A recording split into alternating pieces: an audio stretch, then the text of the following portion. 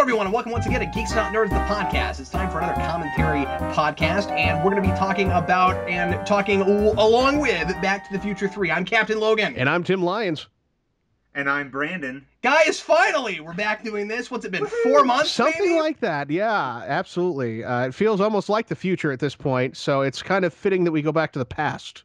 Yeah, so now we're back to Back to the Future. Keep in mind, it has literally been over a year since we did number one. Yeah. Yeah, and I feel bad about that because you know we, we had all that time spread out between the first two, and then when we did when we did two, we were like, let's make sure that doesn't happen again, and and here we are. It's been Uh, longer. Anyway, so I want to apologize for how long this has taken us to get this together, uh, but but here we are, and uh, we're finally doing part three. Uh, now, before we get started, I want to ask you guys both. Now that we're doing the third one, because I know this is one of those weird trilogies where not everybody always watched them all together. Like people had their favorites and they watched them separately. Which of these did each of you have a tendency to watch more often Hmm. than the other two? Tim Lyons. When I was a kid, I would say uh, number two and number three kind of neck and neck. Uh, but now that I've gone to film school, I'll say number one by far. Uh, I have always seen number one way more. Number two is the one that fell by the wayside. I've seen one and three a lot more than I've seen number two. I had exactly the same experience growing Yeah. up, yeah. But three we watched all the time. Yeah. This was the one for us that we always watched because my mom was really liked the Western stuff, and so Well, like, it's a good Western stuff. Yeah, absolutely. It's it's a great western, you know, just by itself. Well, we'll have to talk about that. I always thought that it was kind of a, a, a fun movie, like like in in making fun of the West of, of westerns, because it certainly doesn't feel like that actual period. It feels like a a uh, film western, right? Yeah, yeah. I, I think of it like I do Shaun of the Dead or Hot Fuzz, you know, where where it has to do that genre well in order to properly um, pay homage or or even lampoon it in some ways. Right. but it's consistent because it's also a uh, a, a ni- a cinematic 1955 more than it's a real 1955. Oh, absolutely. Yes. All, all at the same time, it's definitely exaggerated and through that kind of lens of nostalgia. Well, uh, we'll be talking about all of this and more as we talk through the movie. If you've never watched one of these with us before, I don't know why you're starting with Back to the Future 3, but what we do is Go uh, back to a year ago. we we talk about the film while we're watching the movie and we try to make this a podcast as much as it is a commentary track meaning that you won't hear a lot of dead air uh, in this track. Uh, this is meant to be listenable if you know the film pretty well without watching it if you don't happen to have a copy close. It's a lot more fun though to watch it uh, to watch the movie along with listening us to us talk about it. And uh, if you want to do that with us all you gotta do is pull out your dvd your blu-ray however you've got it uh, put it past all the menus, get it to timestamp zero. Uh, what you should see at the very beginning of this one is the Universal logo, uh, the the, uh, the old timey one with the uh, black and white Earth spinning and the uh, old airplane flying across the screen. So uh, anyway, get get everything to timestamp zero and get ready to hit play whenever I say now. Tim Lyons, are you ready on your end? I am certainly ready, and I will just say to people out there, just think of us as an unfunny RiffTrax. Ma- I don't know. Every now and again, there's a little bit of. Well, we have our moments. We do have Tim, we do have Tim Lyons. He, he, can, he can be pretty amusing. Well, here we go, everybody. Uh, Back to the Future Three. Finally, after this, uh, after long awaiting this moment, here we go. Much Uh, gnashing of teeth. Yes, everyone, please press play right now.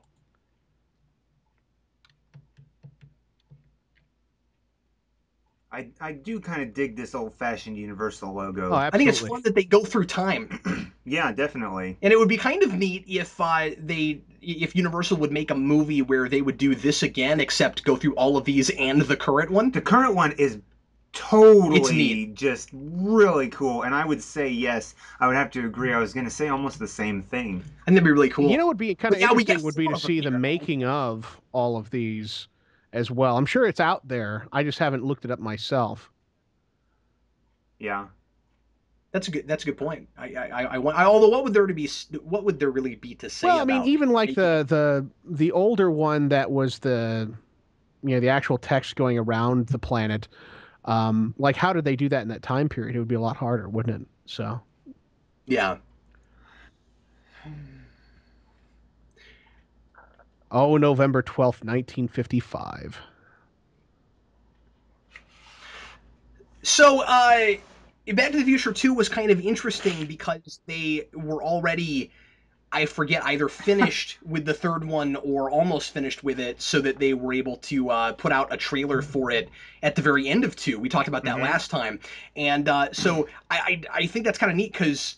I'm not sure if there was anything historically that had ever done that before. Yeah, um, you know, they shot them back to back, Yeah. and um, you know, it's I, I don't know if it was the first time they they did that or not, but they certainly took full advantage of it. You know, you have to figure that principal photography for both films would be done by the time that all the editing would be done for the second one, for sure. Well, it's it's really interesting how they completely tied in the beginning of three with the end of one, I love that. with all the while. Well, and the fact end of two also because Yeah. this is the end of two. What we're looking Well, at right, right. here. Yeah. Exactly, but they, they, that with the combined effects of number two, it is just so so crazy. It's also nice of them to put this in here, not just to kind of bring us back up to speed and remind us what happened before, and just so that Uh-huh. we get to see this fun feint again, because that's Oh, always yeah. great. But this is also, if you'll remember, how two opened. That they gave us the ending of the first one again uh, to open the sequel, Yeah. except that this time they didn't have to refilm any of it True. because there's not a new actress or anything in the middle of it. yeah, absolutely. Uh-oh. Tim, I wanted to ask Great you, uh, Scott. y- y- you know, a criticism that a lot of people, including myself, uh, always have about uh, the last two Matrix films is that uh, they were, because they were made outside of the first one and it wasn't really intended as a trilogy initially, which is somewhat similar to, to, to thi- how this was made, they were also filmed together. These two things were filmed together, so I think it's interesting to compare them.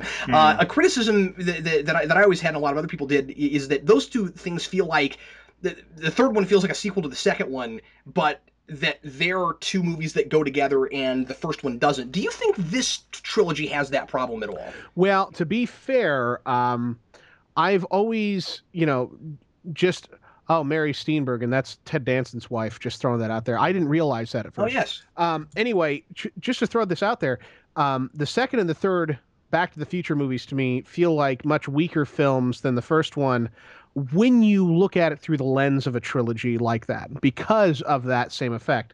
However, what they were very smart about was to uh, very, very heavily incorporate all of the elements from Back to the Future One and the Back to the Back to the Future Two, and do so in a way to where, um, you know, the second one could not possibly exist without the first one. The first one can Mm. exist without the second one, sure, but yeah, that's just the standard progression of the story.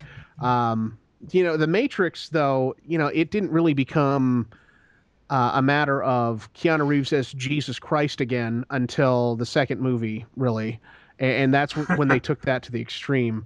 And that's really the biggest problem that I had was that they changed the the tone of it so much.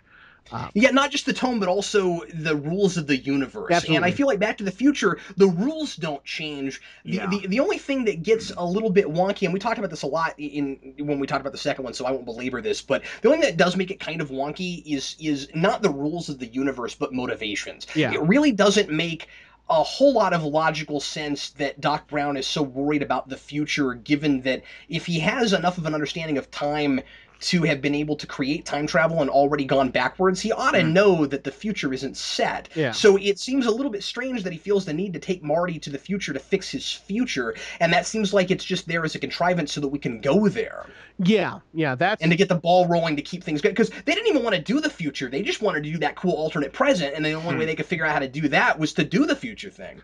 yeah, and that's that's you know more of a criticism of the second one than the third for sure. Oh, absolutely, You know, yeah. but- But, I'm just saying that that's probably my biggest criticism of the whole thing is as a if you look at it as a piece, as a trilogy, which again retroactively they had to try to make it into. Uh, that's kind of the biggest problem I have with it. And, yeah, that's like and, the thing that makes the least sense to me. Absolutely. Yes, Um, and and so the so the big thing is you wouldn't have Doc Brown winding up in the situation he winds up in this movie if he had never been dumb enough to think I've got to go to the future and fix things that haven't happened yet. Yeah, yeah, precisely. Now, as far as um, oh, I I do love this little scene here. Um, but you know, just as far as as the second and third movie, you know, and how it relates to the Matrix again, to bring it back to that, you know, I think that it does uh, change enough to where it falls into that trap a little bit. But um, I think that that uh, Zemeckis and Bob Gale were a whole lot smarter about how they approached it, and I think that's really what paid off for them.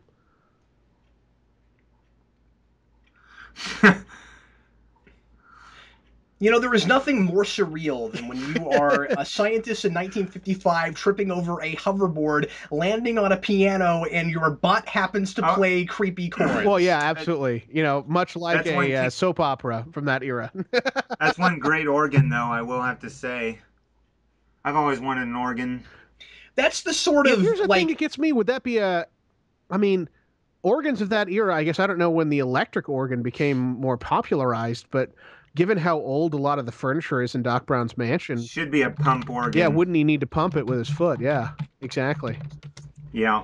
but they just wanted that particular sound. And you know, that's one of those in, impossible kinds of silly movie things that I don't mind because it's so clever. Yeah. Well, this scene Yes. also, like, why is he disbelieving Marty in any way, shape, or form at this point? What possible motivation does he have to disbelieve him? Hmm. You you make a good point on that. You really do. Sorry, I was fixating on the organ. What? The, the point is, what possible motivation would Doc Brown have to disbelieve that Marty is suddenly appearing after he sent him back to the future? Again? Yeah, I, you know, I always wondered about that too. He has suddenly kind of regressed back to the skeptical, I don't buy that you're from the future self that he was in 55 to begin with. But eh, maybe part of it is Christopher Lloyd's performance, which I hate to criticize because it's Mm. fun and it's great, Yeah. but he's too skeptical because he's got to remember that he's playing the version of himself that went through the entire first movie with Marty and then Yes. he just showed up again. So, I mean, if he if he put him in the car that he knows can travel through time, he sent it off and he suddenly shows back up 5 seconds later, he ought to know, he ought to believe everything he says. yeah. Not Well- only that, not only that, but I have to say this: this could end up disrupting the original movie. In that, in the original movie, Doc Brown picks up the letter that he'd shredded from Marty, and then eventually puts it back together. But now that Marty's come back in that crucial moment, will Doc even put the letter back together to know that he's not supposed to die at the mall in the first one? Or you know to to kind of play devil's advocate there uh, for the Uh-huh. movie um, would this be the motivation to put it back together because the timeline Ooh. has been um, disrupted this much at this point so at that point you know he figures what the hell like he says in the first movie That's right. Hmm. This could, in, in a roundabout way, it could be sort of. It this could be explain that hole The, in the first movie maybe so. I have I have not considered that. It's an interesting thought. I will take it as fact, even if it's not. Was in the first movie was any part did the, any part of that model actually get set on fire? Yes. um no no no just the car Just, Just the car. yeah, the, okay. car, the, the yeah, car itself yeah. and the car ran off the table into a bin of oily rags Oh, I forgot that uh, Marty was actually uh, uh, playing chess here. That's fine. I wonder if Marty is actually any good at chess. He does not strike me as the kind of person that would be good at that game. Well, but No, he's been me hanging out with a, you know, he's been hanging out with a scientist for X number of years. But keep in mind, true, he's but he still a should get- consummate teenager here. Yeah, and he should get beaten every time. I mean, like he, he's clearly not very good at uh, strategy. Well, he's not good at controlling his impulses. Right. That doesn't mean he's not good at strategy. It just means that uh, when he's no, I suppose you're right about that. Yeah, when he's provoked, his emotions Yes. take over. And that you know what? Don't call me chicken. You're right, and and you know what? You, you- I'm going to concede you on that point, Tim, because uh, the, the nice thing about Marty is that he's not so much of an idiot that he needs Doc Brown to solve all his problems for him. He Right. does he does what like like they they have this mutual appreciation for each other, and and they like like both Yeah, they you know they they, they both kind of look up to each other, and so they put their heads together and they solve. in fact, problems. there's a And scene in this, movie. is the best is the best of them for these two getting their heads together and solving problems. because of- However, coming up Mm. here, there's my biggest issue with the idea that Marty's not dumb, you know. Because Marty doesn't act dumb throughout the entire trilogy, but coming up here, he asks the pronunciation of a word, Uh huh. you know, that he would know. You think? Yeah, really? the character Oh, of Marty would, would know that word having hung out with Doc Brown for X number of years. Like, there's no reason he should ask the pronunciation of the word. Well, also I know that, that this is an eccentric kind of crazy scientist and he's absent-minded and all that, but I don't think he would just hang out with any random teenager. There's got to be something in Marty that he sees, right? Like not to look too far into it or anything, but Well, it just seems is. like there's got to be something in him, you know. But but also he's somewhat of a um not a not a criticism of his generation here, but he he's very indicative of his generation in that you know um, Doc Brown is always in the '50s saying things like you know why are why do you keep saying the word heavy and stuff like Yeah. that. But that's but that's that's less about Marty's an idiot and more about here's the difference in culture and maybe the, our language has degenerated. Yeah, to to an extent, but you know, you, you think of some of the the popular vernacular of the 1950s, it was not any Yeah. smarter. No, no, It's you're true. right. Uh, this, You're you're absolutely right. this reveal scene, I've always loved it, uh, except for the fact that the, well, it's up on blocks, but the wheels are still. I guess that's not a problem. If the wheels are still sitting on the DeLorean. Uh, this this is very interesting. Oh, here it to is. me. Here he doesn't get the word schematic. Schematic. So that's that's the word Yeah. Tim's complaining about. Yeah. Okay, like he wouldn't know the word schematic. Seriously. What do you think, Brandon? Uh, I think he should know the word schematic by then. It's I would not ha- rocket science. Even if it were rocket science, that's just calculus. Okay, now I want to mention this. When he says all the best stuff is made in Japan, they are not forgetting that he that they're still in the 50s Right, and they're still trying to write the same kind of fun uh, banter that they were doing uh, uh, to to ca- to capitalize on yeah, on the how 80s cool versus it- the 50s thing. cool Yeah. it is the 80s versus 50s Right. stuff. Yeah, they could have really skimped over that, and it's really nice that they don't. Um, it, it must have been fun for fans in 1990 when this came out to get to visit the 50s again for a minute. Yeah, you know, I uh, was- that actually reminds me. Uh, just seeing the DeLorean there. Also, my my parents have been recently telling me um, when when I was a baby, right? They went to Disneyland out in California, Disneyland proper, and I guess they they saw the DeLorean there, and it was in like It's heavy there. disrepair. But It uh, is. yeah, they, it was still an exhibit out there, and, and they were able to see that. And uh, my dad kept saying, you know, that that my uncle had seen Back to the Future, but they hadn't yet. Um, Uh-huh. And so he was making a big deal about how it was so great that they had the DeLorean there, and my dad didn't know what what was going on, you know, as far as that was concerned. But um, I so that was kind of a fun story.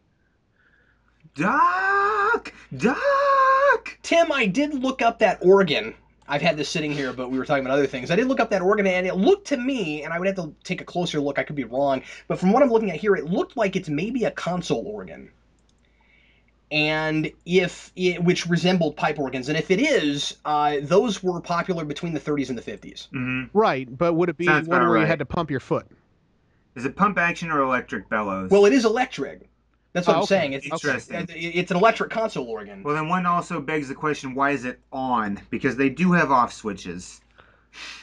Well, Well, yeah, keep there's that, in but- but- whatever. Can I? Yeah, but can I? Can I say something else too? Uh-huh. That could be not to belabor this, but that could be one of those um, one of those film things of are we really hearing what they're hearing or are we just hearing score? Right, exactly. That's true. Um, I want to say something about uh, Emmett Brown's name. Someone pointed this out to me before, but Emmett E M M I T T. Basically, it's time spelled backwards with a couple extra letters. I wonder if that was on purpose or not. I don't know, but it's also the word emit with an extra letter, Yeah. which time and emit are kind of two themes throughout Back to the Future. I really bet that's a happy accident. If I they were to reboot the Back to the Future series, how different would this scene be? This In, scene- entirely because we wouldn't be in a we, we would be on somebody's computer. That's right. Yeah, We'd be looking at an iPhone. absolutely. That that's a great point. And how much? Well, except that we're in the '50s still, so we wouldn't. I well, mean, yeah, but even in and of itself, just the whole idea of this is lost on the current generation, and that's a little Well, bit that's sad. Why, that's why it's fun to make time travel movies Mm. because we immediately get uh, the these kinds of conflicts uh, where where you know it's harder to find things out and you know people have to use their brains more. Um, you know, it- it- I, I I predict that as time goes on, Tim, and we keep making movies, Yeah. uh, we're going to see more and more period pieces than we ever have because it's so much easier to write Wow. people in difficult situations. I forgot how big that circuit was. That is a, It's that is one of my favorite circuits. But let me tell you something. Uh, the DeLorean out in California, I saw it in 01. It was in terrible disrepair. Like we're talking the the flux ends on the front uh, that come off the front bumper Mm-hmm. were falling off. Ah, and pieces were just it was it could be driven around but much in the same way as the blues brothers car they have out there can be driven around but that one's made to look old the delorean is just falling apart and i was so disappointed don't get me wrong it's great to see the car the Yeah. original but it is falling apart on the outside This plays for comedy when he goes back and he's wearing this goofy Oh, suit yeah. that they wouldn't have back well, then. look at look But- at the shirt. Look at the the atoms on it. yeah But what I was going to say is when we oh yeah, it's got atoms on it. Yeah, Oh. Jeff was gonna uh, for my wedding. Jeff was thinking about buying that because they That is- found the shirt manufacturer in Denver that made that.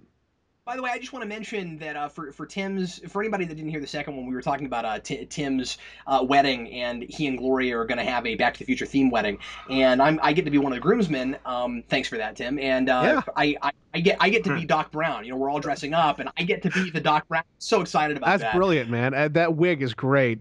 Um, Yeah, yeah, I've we're renting a DeLorean for pictures because Oh, like one of the first uh, replica DeLoreans is in Kansas City.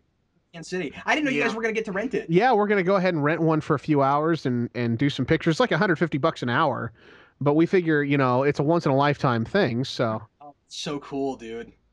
I once saw that DeLorean down in KC uh, went by. You can even get the smoke to pour out the back louvers. that yeah, the it's so great, man. I've always wanted to. I've al I, I'm disappointed now that I know somebody personally that's going to be doing that before I got the opportunity because that's one thing I've always talked about doing. Well, see now I need to send you an invite so you can come out and check it out while we're doing that it. That would be amazing. That would be Yeah, amazing. i- I if if you don't mind driving out to Kearney to check it out. I would not mind driving out to Kearney. But uh, going back to this uh, outfit, while we're while we're still looking at the scene, I- I, I ridiculous wanted to, yeah, I wanted to ask you. I mean, as it's fun and and and I, I love the now that you mentioned the atoms, that's awesome, that's hilarious. But um, they were just in a library looking at pictures of what all those people were wearing at that point. They, he could have been more authentic. Yeah, than that's a good call out. Absolutely. Could how however I would gather to to bet that much in the way that Doc Brown quote didn't have time to make any of his models to scale, he didn't have time to go get the appropriate. I get Western that, wear. but that play that scene plays up too much like he's ignorant and he thinks that's what they were Well, wearing. okay. There's what I'm a lot of and- problems I have with Back to the Future Three, and they're all about to d- diverge right now. Actually, Oh, cool, they're, here we go. They're about to they're about to go down for me too because I'm going to completely waste your opinion of Back to the Future Part Three as being viable the way they ended it, and it well, happens. we'll get to all that, but. right. What, what I want to say real quick here though is like it's it's funny again there's a lot of stuff that works in the scene for hey it wasn't that clever but it Right. doesn't quite uh, uh, you know make a lot of logical sense it's and there's some of that in, in the first two too but this one more so isn't it pretty maybe I don't know isn't it pretty contrived isn't it pretty convenient rather that the Indians just happen to be running at exactly the same place well, yeah. I mean, They- that I'll accept in film logic, right? Right. Uh, The, the aftermath of it, I don't accept by any means. I'd accept a, a flat tire, but I wouldn't Okay, go accept, ahead. What- I wouldn't accept the what are you fuel line referring to? being being uh, severed like that. why just by a by an arrow Yeah, via arrow. Yeah, absolutely. I, I do not accept Well- the, the fuel line being severed like that because it's not exposed. But it is when they pull the arrow. Doc Brown has made too many modifications to this. When they pull the arrow, it's coming out of the side. Yeah, But but, here's- that's that's not it doesn't it doesn't that doesn't catch the fuel line. Here's the thing. Here's something I'd like to Well, mention we'll, right. we'll roll right now. tape here. I mean, it's, it's Here's just not- me knowing nothing about cars. Here's here's what I would here's what I'd like to point out. At this point, Marty has just returned to the past in the DeLorean that Doc Brown has by this point already hidden in the cave. Okay? Doc Brown hid the DeLorean in the cave shortly after he got to 1885, right? Yeah, We're following here. Okay. Go ahead. So they have is- a source of gasoline. Exactly. As a scientist, it is impossible for me to believe that Dr. Brown would not have pulled out every fluid out of that car, especially to store it. You would have to pull out all the fluids. He's got it somewhere. He hasn't used it yet. Here's where he pulls but the gas. maybe he got overzealous with it. Maybe he decided to. maybe he decided to use it for something. They should have talked about it though, because does he ever? And, and forgive me, it's been a while since I've watched this, but d- does he ever refer to the second DeLorean at all? No. like they No. have to use this No, they one. don't refer to it at all. He's got, he's got one there because they just found it. But the problem with using the other DeLorean is that if they use the other DeLorean now where it's hidden, it won't end up in 1955, and Marty can't use it to come back Okay, here. I see the fuel line that you're talking what? about, but the arrow hit below it. Oh yeah, I'm sorry. You, you, you're gonna have to you're gonna have to talk slower for us time travel morons. Sorry. Um, so what what? do- What's, so, so happening is the reason Doc doesn't mention this is because it's understood that if Doc were to do anything with the DeLorean he has already hidden, right? then it wouldn't be there in Yeah, okay. No, no, of course, yeah. If he pulls it out and they use it, no, I get that. They can't Right. use that one, but they all they never. It's weird that they never Repair the to it. fuel Right. line and then Or- use some of the fuel. Yeah. Right, exactly. No, Even if he I'm- didn't I'm remove the sorry, I just fuel, wasn't That's cool. Following just- you, but yes, good. yes, of course. The, the, the thing has to be in the cave, or he's got nothing Yeah. to use. Right, but Mo- Doc would already have pulled out all of the fluids. So I watched this movie, like I said earlier, over and over and over again when I was a kid, Uh huh. and I never realized No way. that that was Michael J. Fox Really? No way. until Wow. like. I mean, I was gr- I was grown. I was probably in high school by the time you know, I Michael J. was like, Fox "Wait a is minute, Gloria's I love favorite actor, Fox." Like by far. And I thought he, I, I thought he was great there because every time I watch this, I, I do I do have to remind myself, oh yeah, it's Michael J. Fox. Because the first thing I want to say is, you know, the guy who the guy who plays that other, Seamus. the, yeah yeah yeah, She, Seamus is great, and then like, but I'm like, oh wait, that's Michael J. Fox, but he he he does a great job of playing it totally different. Oh, yeah. And, yeah, absolutely. Um, I, you know, I like the voice he's using, and and then of course we've got you know Lorraine again. Yeah, as Maggie. Which I think that doesn't make any sense to me. Makes no sense. Same? No, no, it doesn't. Well, it doesn't f- because that's she's just from a a, different It's family. film That's line. just logic again. Real thing. Yeah, but well, it's somewhat film logic, but it's also just okay. That's what it looks like to But it- us because they want to use that actress again. but but it's also this. It's that the McFly men pick a particular type of woman. Well, and that's you know what that's good that's call out. interesting. yeah. That's that's really yeah, that's great. That's the fine. McFly women I pick s- that type of. I see that less as film logic and more as like uh artistic license. Uh-huh. Yeah. Oh, I have Makes to any say though, uh, as far as Lea Thompson, um, something that I don't did I mention this in the last one? How cool she is. I don't know. I don't what think way? so. Uh, so so Gloria had been you know looking for um, some information on the dress from Back to the Future One, and that sort of thing. So she tweeted Lea Thompson. Lea Thompson actually went out of her way to take pictures of the original Oh. wardrobe and the original shoes, and send them Oh, back to man. Gloria. That's so cool. That's boss. dude. Yeah, so needless to say, we you know we sent her an invite, and we sent everybody in the cast an invite, really. But um, That's so neat of a- her though. Yeah, well- I have a friend who met Tom Wilson. yeah, Tom Wilson seems like he'd be a heck of a guy, really.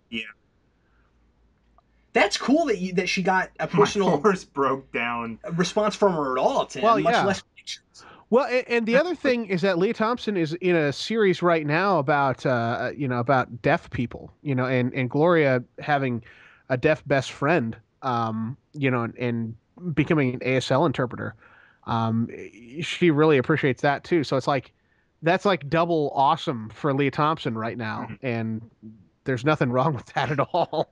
I want to get back to the movie here. The the uh, I love the color of the water. oh yeah. Oh yeah. Um, you know, there there are, there are some things that are a little bit, uh, you know, that, that are that are obviously silly because they're doing the the traditional kind of kind of exaggerated Hollywood Western thing. Uh-huh. But then they do a few things that are probably kind of like it would have been. Uh, I, I think the water thing is pretty accurate. Have you ever eaten rabbit that has shot Yes. still in it?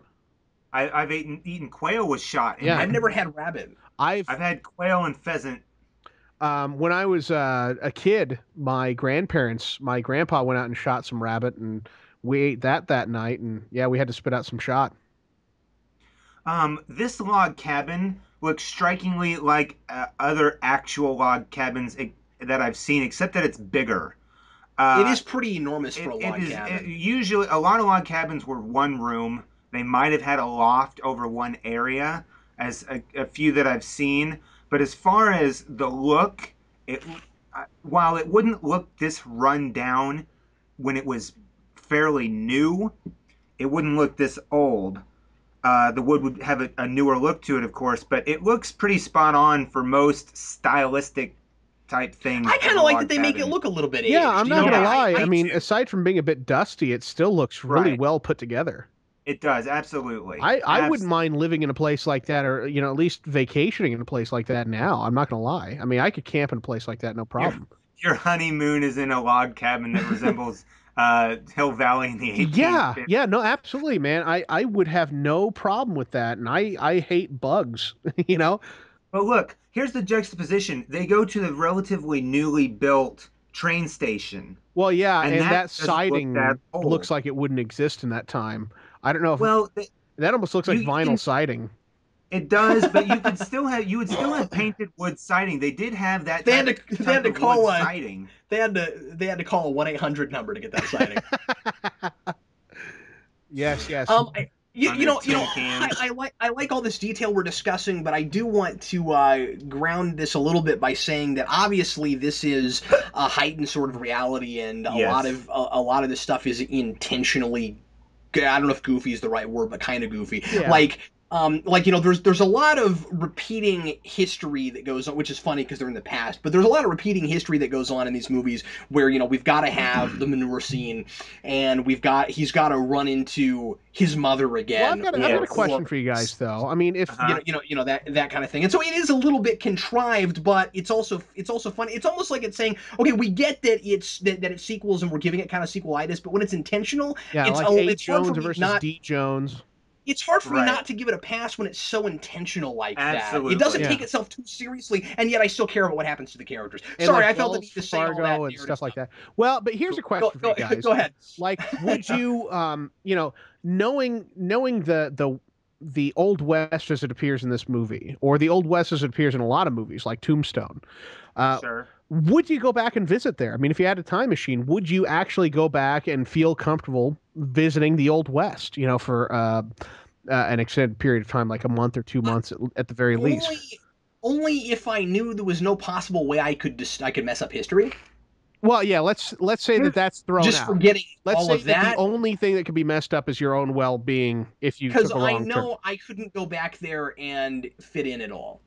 I wouldn't fit in. That would be my either. worry. Is I'd go back and I wouldn't know the lingo. I wouldn't know how to talk. It would be like being in Star Trek and landing on an alien planet and pretending like you're just from some other town. Oh, we just do things differently Well, here. Riker like did we that have enough. we have the Well, internet. but let's say you you know have I done mean? Like, plenty of research, and, and let's say that the only problem in the timeline you cause would be your own well-being. I would try to prepare myself for it first by live by trying to experience something as close to this as I possibly could before I went there. Okay, so let me let me rephrase this then. Let's say you were to have And then I- a, what I'm a saying is then I holodeck type of feel more- experience more- with this Yeah. sort of time period. I I think I, could I totally get do it, man. I, I totally could could, do it too. too. Yeah. I've always uh, this is something that I've, I've literally thought about a lot is that if I were born in this time frame, what would I do in this time frame? I literally would have become uh, an engineer on a steam train. I would have I would have ridden the rails. Absolutely. That would have been great. Absolutely. I, I, would have have no been idea what I'd I would do with myself there. long term. That's what I But- Oh, I'd I'd love to I do would that. do precisely what I do now, except not it wouldn't be YouTube. But what I, what Why I, you talk about what I movies and, and comic books? No, no, no.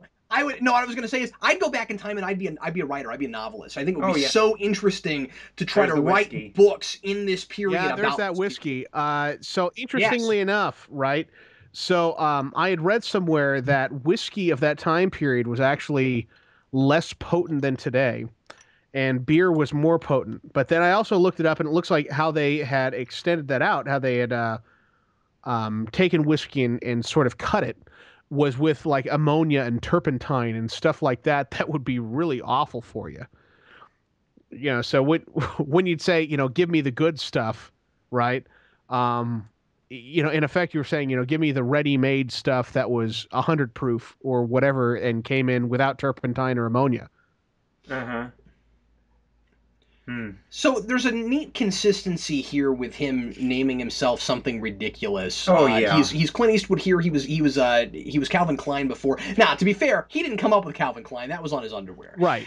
But Sure. I like that. I, I, I like these kind of continual, um, kinds of kinds of paralleling. Well, this you know, calls you know, back to the second movie, um, Yes. for sure. You know, because that was Pale Rider, right in in Back to the Future Two, with Oh, the good point. bulletproof vest, and they actually used some of the locations yes. from Pale Pale Rider in this movie. But that's where Marty gets his original idea, as we talked about in number two, was for what happens later on in this movie. Yeah, Yeah, that's all really interconnected, and, Oh, and now we're just foreshadowing it like crazy. Yeah. Exactly, Um, and we even had a foreshadow of that that I never noticed before until just now. Was when Marty is walking up, and right before he has to jump from the stagecoach and lands in the manure, you can see the stoves in the background that he uses later on. And I didn't very notice Yeah, there's a. that.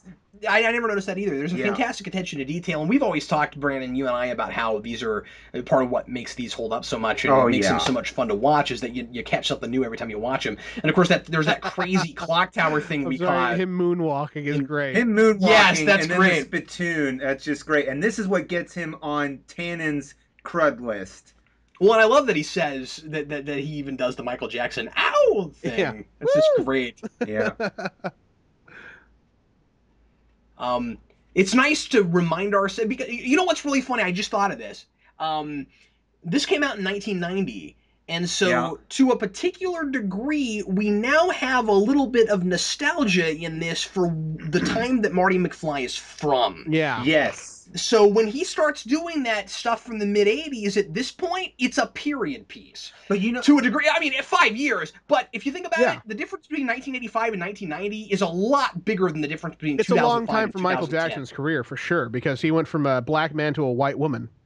And so, but what what we're yeah, thanks. What what we're reminding the audience? No, but I, but but you make a great point when you say that. What we're reminding the audience is that only a couple of days have gone by for this person Right. through these Yeah. three movies, and we have to keep roping it back in and reminding ourselves about that because for us, all this time in reality has passed because it takes five years for these movies to come out.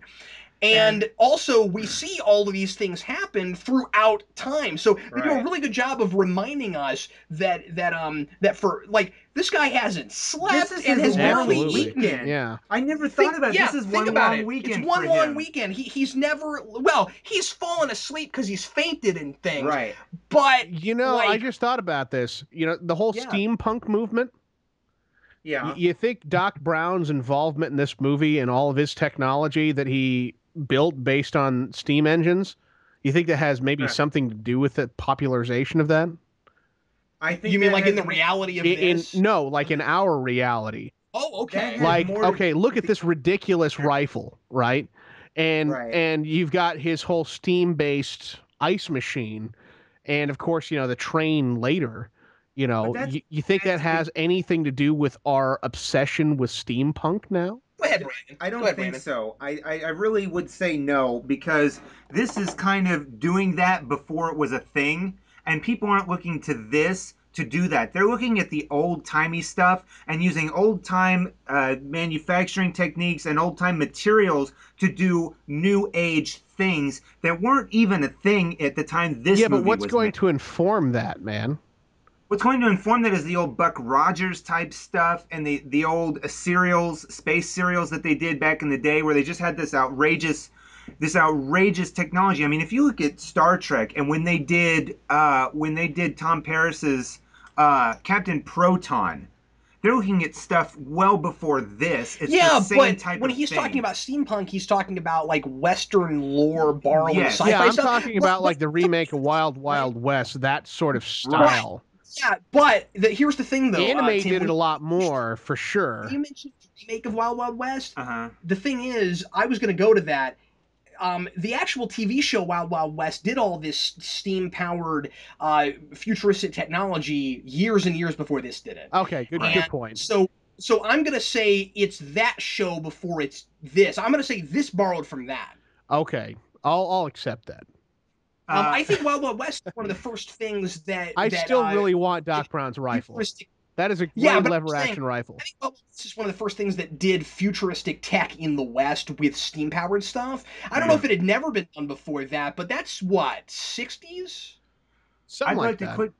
I'd like to quickly point out just something. Uh, is that Marty McFly was actually accidentally hung in that last scene? Yes, right, he was. And uh, that caused a little bit of an issue. Yeah, he uh, he had mentioned it in his uh, memoirs. Uh. What was it? What was the title of that? Like Lucky Guy or something like that in 02? Yeah. See, this doesn't have as much attention to detail as you might have remembered it being the steampunk that you're thinking of.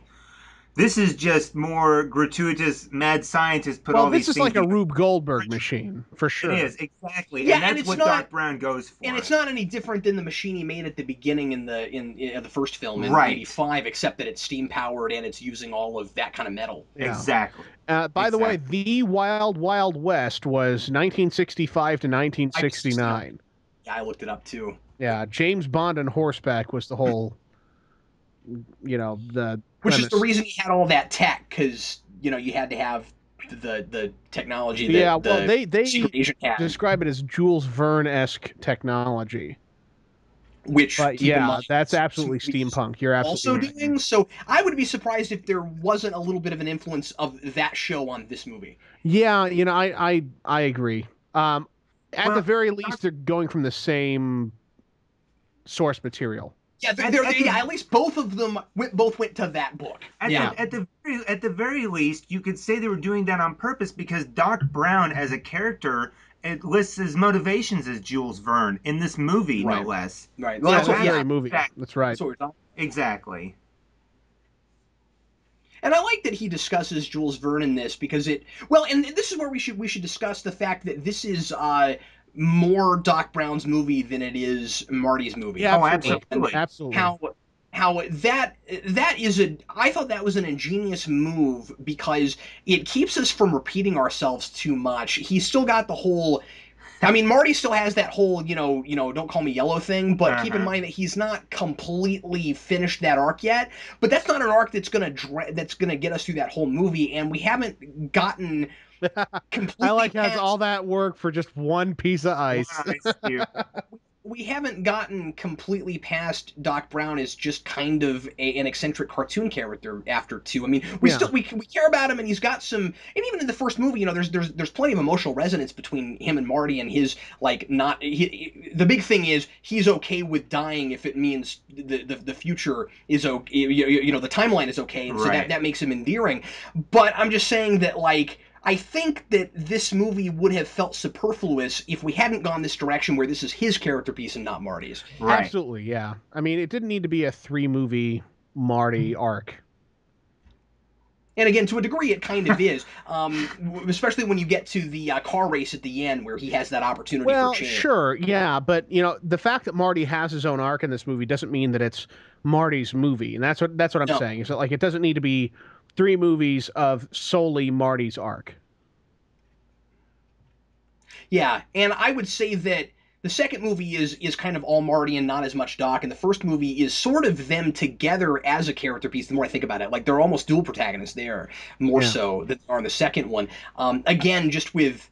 But interestingly, only the 55 version of Doc. The 85 version is a total cartoon character.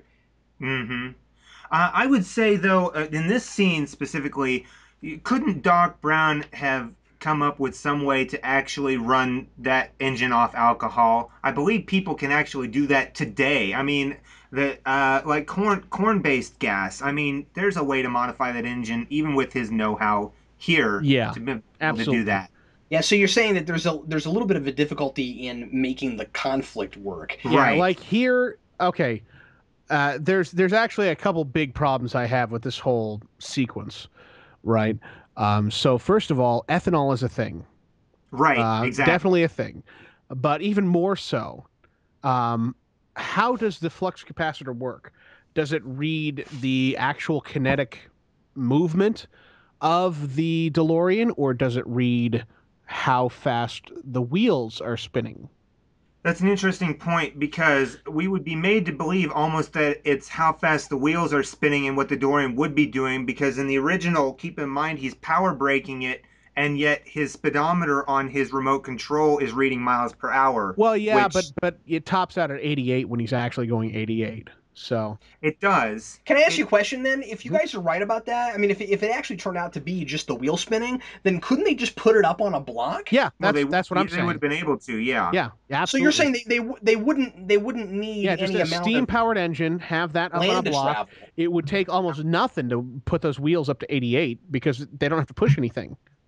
However, I don't believe it is just the 88 miles per hour. I believe that through the process of watching the movie, 88 miles per hour is what it takes after the reaction is taking place. That's how fast you have to be going to slip through the hole that's being made in space time. You know, that's a good point because when, every time we see the DeLorean travel in time, it doesn't automatically suddenly disappear when it hits It- 88. right. It's it's it's, going doing that. that. It's doing that for a period of time, and then you're right. There's kind of a gateway that opens. Well, Right, but and here's the thing, the though. Disappear How great It. of a callback would it be if you could have a stationary time machine in this movie? Well, You know, original- because it would be like the time machine, right? But if you're going to do that, and and they could have, he could have easily done this instead. If they, I love that Tim. If they had done that, you would have wanted the literary references to be about H.G. Wells before they were about Jules Verne. Let me let me uh, bring something into focus here that you may not have been thinking about. That'll bring back uh, pangs of Spielberg and Indiana Jones Four.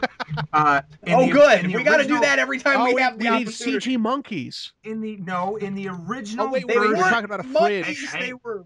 Hey, pertinent information here. In the original version script draft of this movie, they it, the time machine was actually a refrigerator.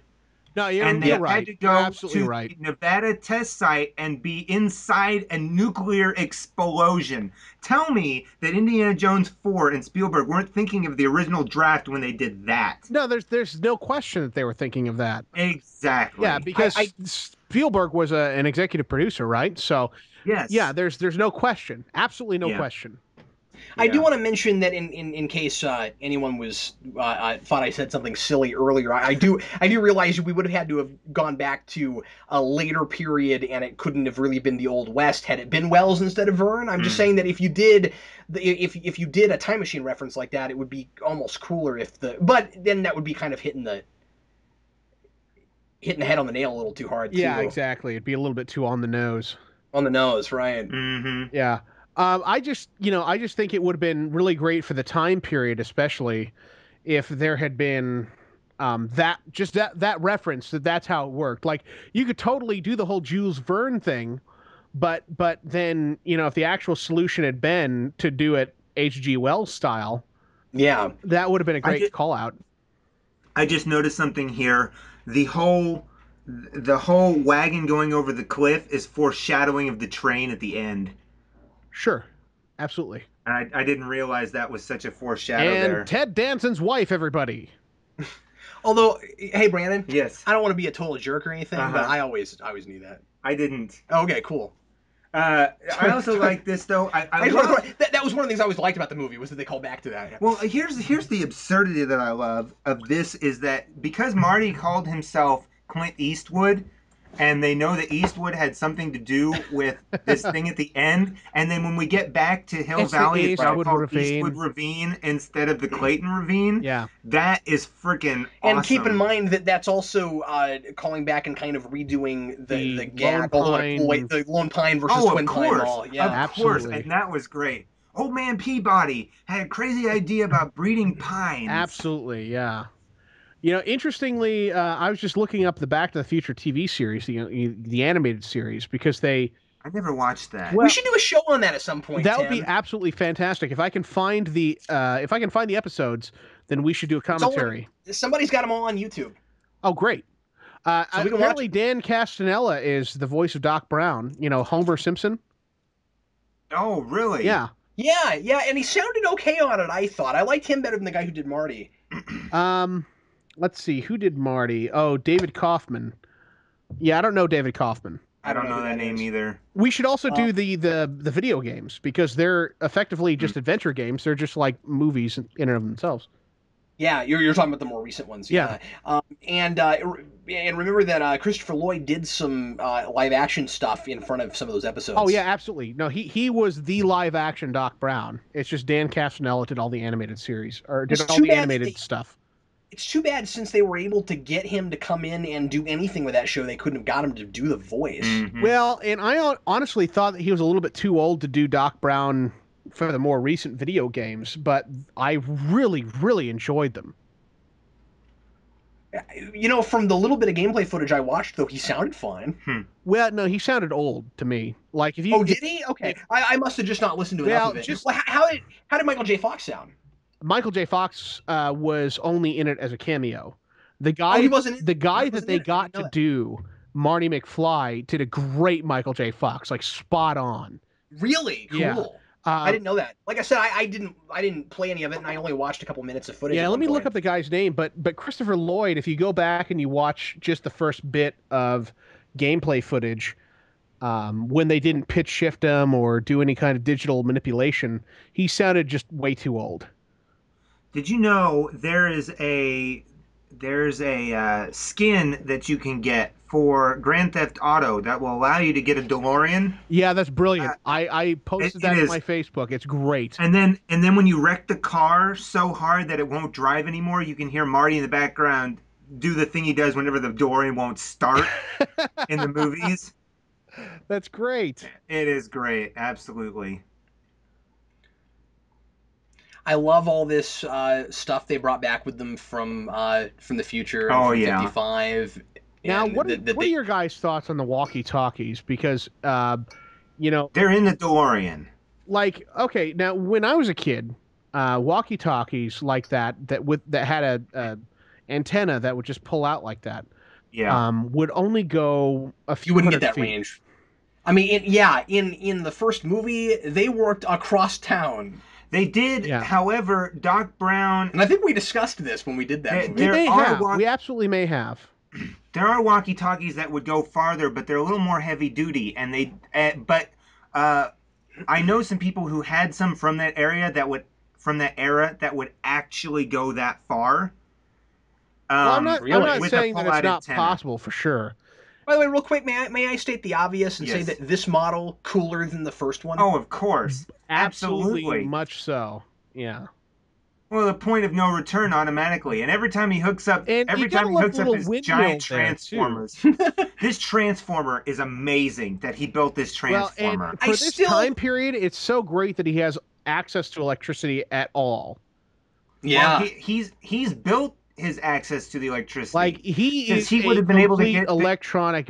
Uh, for sake of your audience, BA, absolutely. yeah, I just have never understood the point with these with this model of like actually making it electric and doing and and doing kind of a, uh simulation but because it's like well, with well any of we his know models, man? no- It's just all. Well, that's what I'm saying. It's With all the first egregious. too.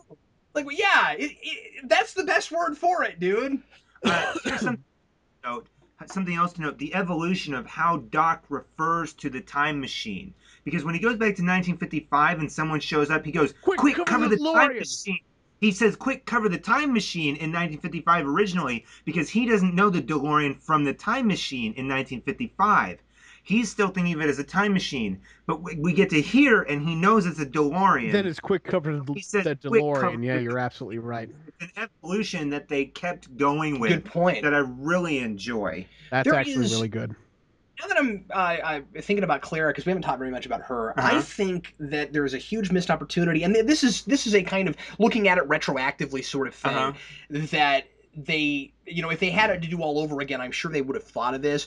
Isn't it sad that we couldn't have had more uh, uh, kind of thematic paralleling going on between the relationships of Doc Brown and um, and Clara and uh, Marty and his girlfriend? Because like this becomes uh, a, a relationship where these two have real chemistry Yes. and you care about them together and and it grows and it evolves and when he finally has to break up with her it's it's sad and you buy both of them and it's not melodramatic and when you look at uh, Marty and um and Jennifer you don't get that really But keep in mind, though, you, what we get from Marty. it is a high school relationship There is yes. that to remember Yeah, Young love. absolutely. Young love, he's smitten with this girl. Versus whereas much mature love, yeah. Doc Brown's a lot more mature, but also he's never given women a second look. yeah He he talks about like, he's the never- antisocial right, nerd whereas he's- he's Marty's never good at it Right. yeah he, He- he's knows your consummate Marty knows how to romance a, a, a girl more than more more than in a Doc teenager perspective. But Yes, yes, yes, exactly. exactly. That's kind of why we get that. Well, it's, it's Marty- more a juxtaposition than a parallel. Marty would uh is is not your super like popular kid at school, but he's also not like the nerdy kid everybody shuns. He's kind of in the middle somewhere. I want a life-size model of this clock. You know, by I actually uh, we were looking at how to get a photo booth done with this backplate. Oh And- yeah, you were telling me about that. Yeah, yeah, and we're we're still looking at at options to get that done. But um, another thing of note is that the the band that's going to come up here soon is ZZ Top, Uh-huh. and it's actually ZZ Top, yeah. um, Yeah. which Guys with beards. i- is a band that's hilarious to me because uh, the drummer's name is Frank Beard, and he's the only one in the band without a beard. of course. Yep. You know, They might did not they did not play up ZZ Top in this movie the way they played up Huey Lewis though. right. Well, yeah, I mean, they yeah. did to a degree, you know. I mean, I, I will always remember ZZ Top in this movie, but like, I don't but know. That's more publicity, letting you know it's ZZ Top, rather than you have Huey Lewis front and center saying you're just way too darn loud. and kid." there's ZZ Top. I'm not talking about that so much as the fact that Huey Lewis was like the sound of that movie. Oh, that's and true. ZZ Top is not really the sound of this movie. Well, they I- do play their They- song they- during the credits, though. They- Double they- back they is played do. during the credits. My point is, it's not to the same degree It's Huey Lewis was, right. and and and, all, and I think part of that just has to do with the popular the popularity of the songs, and the popularity of Huey Lewis. Yeah. ZZ Top was huge, don't get me wrong, but I think that there was also kind of a novelty thing of there hadn't been as much bands front and center in a movie. Like like remember that in 89 Batman was really the first movie to do like the whole Yeah. pop like, hey, look, soundtrack Prince is the thing.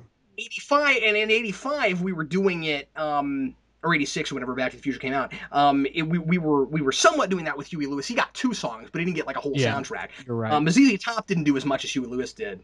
well, and then you you got to keep in mind that The Graduate did that too, with uh, What year with was their that? soundtrack. That was earlier. Young Dustin Hoffman. They had all of. But what uh, year was that? I can't think of the year. Uh, I can't think of the year on that. 67. 67. I was gonna say 65 or 66. Well, there had been like popular songs in mu- in movies before, certainly. Well, that one But- uses a whole lot of uh, of uh, oh, why am I drawing a blank? Almost a, a, a big portion of that soundtrack is all of that artist, But uh, the- Simon Garfunkel. But the difference is Simon Garfunkel didn't write music for that movie. You see what I'm saying? They used Right. their their like like in Did the Huey 60s. Lewis write for that movie? Yeah. Okay. Back in Time was written for that movie. So so Okay. was Power of Love. He wrote songs for that movie. Gotcha. And ZZ Top, I want to say, wrote that song for this movie. I believe they and did, Prince yeah. wrote that whole soundtrack for Batman. That's that's the phenomenon we're I talking got about. you. I got you. And those were some of the first movies to do that. Um, no, go, going going back to uh, even the the I want to say 40s, but especially the 50s. Um, there was a whole lot. There were a whole lot of movies that would uh, put songs in a movie to get people uh, knowing the song. That was they, they did that along with radio. And remember that back then it was more about the song than it was about the person recording Right. the song Exactly. because sheet music was what you bought. exactly. Everybody was buying and playing sheet music. Now let me ask you this: Was I don't know the answer to this, but while we got it up there, was Mrs. Robinson written for The Graduate? I doubt it. But you know, um, I can look that up and try to see. It's possible. Anyway, uh, this is a great scene here. Uh, just the what he says afterwards. Where'd you learn to shoot like that, kid? That's great.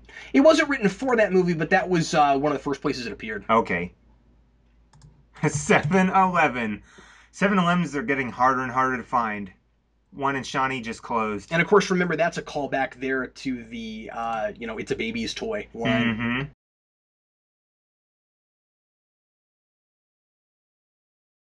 You know, back in the day, they used to have um, a different type of barrel than they have nowadays. They what they called a Damascus barrel, and it was when they would uh, like wrap a strip of steel, you know, uh, basically up into one barrel instead of just having one like milled piece of steel. Yeah. And so, Huh. yeah, yeah, I, I learned about that in MythBusters, actually, believe it or not. You know, I, I look up a lot of things about guns, but yeah, that was one thing that I didn't even realize or didn't think about at first. Um, you, you know, in the old cartoons, when somebody put their finger in the barrel and it would, you know, basically blow open like a banana. Um, is kind of that effect with the Damascus barrel. Yeah, that's cool. So I wonder if this, because that was about this time period. I wonder if this was a Damascus barrel or if this was a uh, actual milled barrel. For my money, this is of the three movies Tom Wilson's best performance. Absolutely. Yeah. And, oh, I'm, definitely. and I'm going to say that because he uh, doesn't seem like himself at all in this. Uh, he seems so much older. He's, I mean, obviously he's doing a voice and he's doing a totally different. The frisbee thing's fantastic. Frisbee, Um, far he- out. You know, He's uh, doing a he's doing a voice and he's doing. I'm sorry, let me say this Do- real quick. do- He's doing a voice. Yeah, go ahead. um, he- he- and uh, he's he's uh, he's playing this entirely different character, but sort of like Michael J. Fox uh, uh, playing um Seamus. Yeah. Yeah. He he kind of he kind of like gets sucked into the role, and you forget it's the same actor. Absolutely, Mhm. yeah. It's really easy to forget that Tom Wilson's the guy. Um, with the frisbee thing, you know, we were looking at uh, trying to get the same sort of of pie plates, and, and we didn't know Hmm. where to find them. So, Yeah. Hmm. if anybody out there in in internet land uh, knows where to find the frisbee pie plates, uh, please let me know. Will you use them as your uh, on entrees? Well, we were gonna, reception? you know, we were gonna have um, like for the cake, we were gonna have like a sheet cake for everybody, and and a cake that said, you know, "Welcome back, Uncle Joey." Um, That's awesome. yeah. And then, of course, you know, there's Tom Wilson and the Dillinger in in uh, uh, Christopher Lloyd's back there. Mhm. The makeup is really, really good on him. That's ridiculous. Like he doesn't Yeah. look like himself. At all. No, definitely. Yeah. And yet it's really it's really uh, a fun performance because while he's nothing like what he was doing before, the characters are, are of course very similar. Yeah. Well, in, and, in- and in- the in thing the is, choices they make. you know in what he he mentioned that it was painful for him to play biff even because he was the guy that was picked on by those guys Yeah. you know i i really one of these days i want to meet tom wilson and just pick his brain about not this role because i know he's sick of hearing of it but just all of his other stuff too you know when he played maniac and wing commander 3 and 4 and you know when he um when he played the the gym teacher in Sky High and stuff like that, or was was he the gym teacher in Sky High? Or I no, think no, that Freaks was and Geeks, him. Freaks and Geeks. That's what. Oh, okay, okay. Sky High was Bruce Campbell. No, no, Sky High was Bruce Campbell. That's right. yeah, Yeah. yeah. Uh, I, I bet he almost. I bet maybe part of why his performance is so cool in this is because it's it's a such an un, it's such an unreal kind of role. He probably had more fun with it. Well, yeah, yeah, You know, he didn't have to be the bully. But he I- got to just be the bad guy, and that was probably more fun for him. yeah. would I kind of want to know if if having that level of makeup where he was unrecognizable allowed him to cut loose a bit more. You know, It, it tends to for a lot of actors where it's easy Yeah. to recede into the role. I just haven't because- had the the opportunity to talk to that many actors. This is a great scene uh, because Marty uses the term jerk. And typical of all the Tannens, they don't know what he's talking about. But also typical of the time period, I don't know if that was really a, a word that was that was there as that word was. Uh, and so he's using a word that Biff uh, that nobody Mad Dog can't understand. Well, but the, the the whole jerk line that Tannen's not sure how to respond to it, so he looks to his people, and his people are like, I don't know what it means either. So he turns around, and he's like, mighty strong words. Like he just doesn't know how to react. Typical bully Yeah. style. the name Buford is a good choice Yeah, Yeah. Buford Tannen. because there's a name that that nobody will ever use again for anything. Probably, I'd be very surprised if there were all Certainly that not many Benjamin Bufords. Buford Blue, also I known as mean- Bubba from Forrest Gump. I maybe there are some Bufords around. I just Here's I a- doubt it's I doubt it's all Well, that yeah, like I said, now. you know, there's the the the guy from Forrest Gump, the the black guy that uh, was going to go into business with Forrest Gump, Bubba. Bubba, Benjamin Buford Blue, just like one of them old redneck boys. Can you believe that? Hmm. Yeah, my favorite thing about ZZ Top in this is that is, is that uh, playing these guys in uh, in 1885, they still flip their guitars like that. Oh Yeah. yeah. And that's so funny. But they don't look out of place at all. That's the They thing is that not all they all. needed to do is change their wardrobe. There they go. Yeah, yeah, Oh, there that's is. Maybe Trevor gets to flip his too. Yeah. It's great every Uh-huh. time. Here's an interesting question. Because that gun just got fired, why didn't Strickland confiscate his whole posse and, and take him in? Be like, you you violated the terms of our agreement. You Oh, that's know? true. Wouldn't have He any was with problem. weapons, though. I thought. He was, but he's like, don't cause any trouble, and then he causes trouble. So that He that shoots right, a gun. Yeah, he shot a gun, and that should have been Yeah, for the marshal. He should to have take taken him in. I'm He- I'm he- he willing ought to be to looking for an accept excuse. that level of. Unless he's just scared of him. I'm willing Well, to accept does that level just because, you know, they he didn't want to go through the trouble of causing them trouble. He- you know, if if He- there was no trouble he, to be he- caused. He does say he does say it's a party. You know, let's let's party. yeah. and he knows that Tannen is uh, again as much of a bully as he is, and outside of the law he is. Like they might be able to take him in, they can't keep him for very long. So this guy's not going to be above, you know, doing something horrible in retribution. Yeah. It's I mean, there's a reason we call it the Wild West. How much how much control do do the police really have in this? Now that actor that gives him the Colt Peacemaker. Yes, who is that? I I I don't know, but I love that guy. I'm sorry, I thought you were going to tell me. No, I I don't I don't know that guy at all. Um, I, I don't know. Yeah, he character's he just looks like a stereotypical Western guy. Yeah. And of course, here's another split screen shot that's just brilliantly planned and brilliantly executed. You know, when you realize that they're the same actor and You know, realize it's a moving yeah. shot and they're both Yeah. walking. Oh, I never even and thought about it. more that. importantly, that there's another character standing there listening to what they're saying. Yeah. and she's looking at him, and yeah, It's so brilliant. I mean, it's brilliantly, just masterfully done. I think she's in Seamus's frame, and she's looking. Yes, you're absolutely yeah. right. She is, and or I think you're. I, I think you're right. Um, Yeah. Tim, would you agree if I were to say that they got that done so well because they had to do some harder stuff in two? Hmm. You're probably right because that scene where they're all at dinner, played a lot more characters at the dinner table. Yeah. But that was a static shot. That was it's but it is Mostly static. Very- You're right. I'm Very, just- very shot. nutty professor my style. my point is they're getting well except nutty professor they did more of it I- I- Yeah. like like I, I guess what i'm saying is in they probably got 1990. It was ambitious- conceivable that they would have the computer controlled cameras that they have today. they yeah they they probably got more ambitious and were willing to try it after what they did in two is the point i'm True. making. I had never considered that though, because that was a moving. That was totally a moving shot, and it's seamless. Yeah, it was brilliantly planned. i always i always want to see somebody uh, cut this scene together taking out the score and putting in uh, from sesame street ernie's uh, i'd like to visit the moon Burton Gilliam is the Colt gun salesman. Wow, good job. And he was out the guy in Blazing Saddles. That's what I thought about. That's I thought he was a guy in is that Saddles. who that is Mhm. oh, okay Yeah. I like it when he says he read it as a boy and then he's got to backtrack. Yeah. I mean, it made me feel like a boy.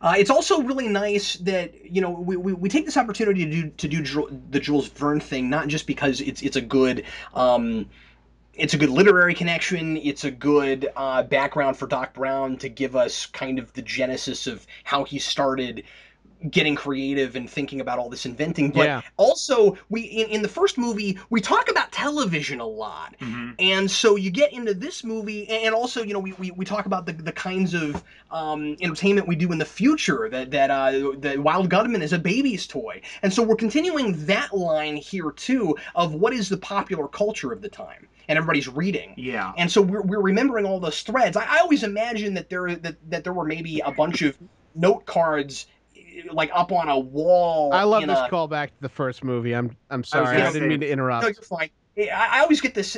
I always get the picture, this picture in my head of like uh, all these note cards in an office that maybe Zemeckis and them had of like these are the these are all the threads we got to make sure and keep continuing through these Yes. movies. Definitely. And how can we cleverly do it without looking like we're repeating ourselves? And that's the, that's the most difficult part. Is sometimes it does come off a little bit like they're repeating themselves. Hey, look, and it's part of things- Michael J. Fox's butt. li- you know, Yeah. just Yeah. sort of hanging out there. when I was a, I I remember when I was a kid thinking, "Oh, you can do that in a in a in a movie for for uh, families." Okay, I didn't know that. Well, That's a. I, I- I guess to be fair, it's a butt. You know, I, I, I always didn't like how they would censor nudity in movies. You know, but they they wouldn't censor violence nearly as bad. They would censor nudity just completely. But but violence is fine. You blow a guy's head off, great. You know, if you if you see a booby, oh, that's awful. and the rest of the world thinks we are our sensibilities are really bizarre. Well, yeah, absolutely. I mean, you look at Europe; it's the complete polar opposite. The complete opposite. You Yeah. can't show people on fire. Yeah, well, you know, my uncle, uh, Maybe more so now. my uncle used to. Charles is a psychology professor, and and he wrote he he raised his family in the exact European sense, you know, not not our sense, and they came out really well adjusted, you know. Definitely.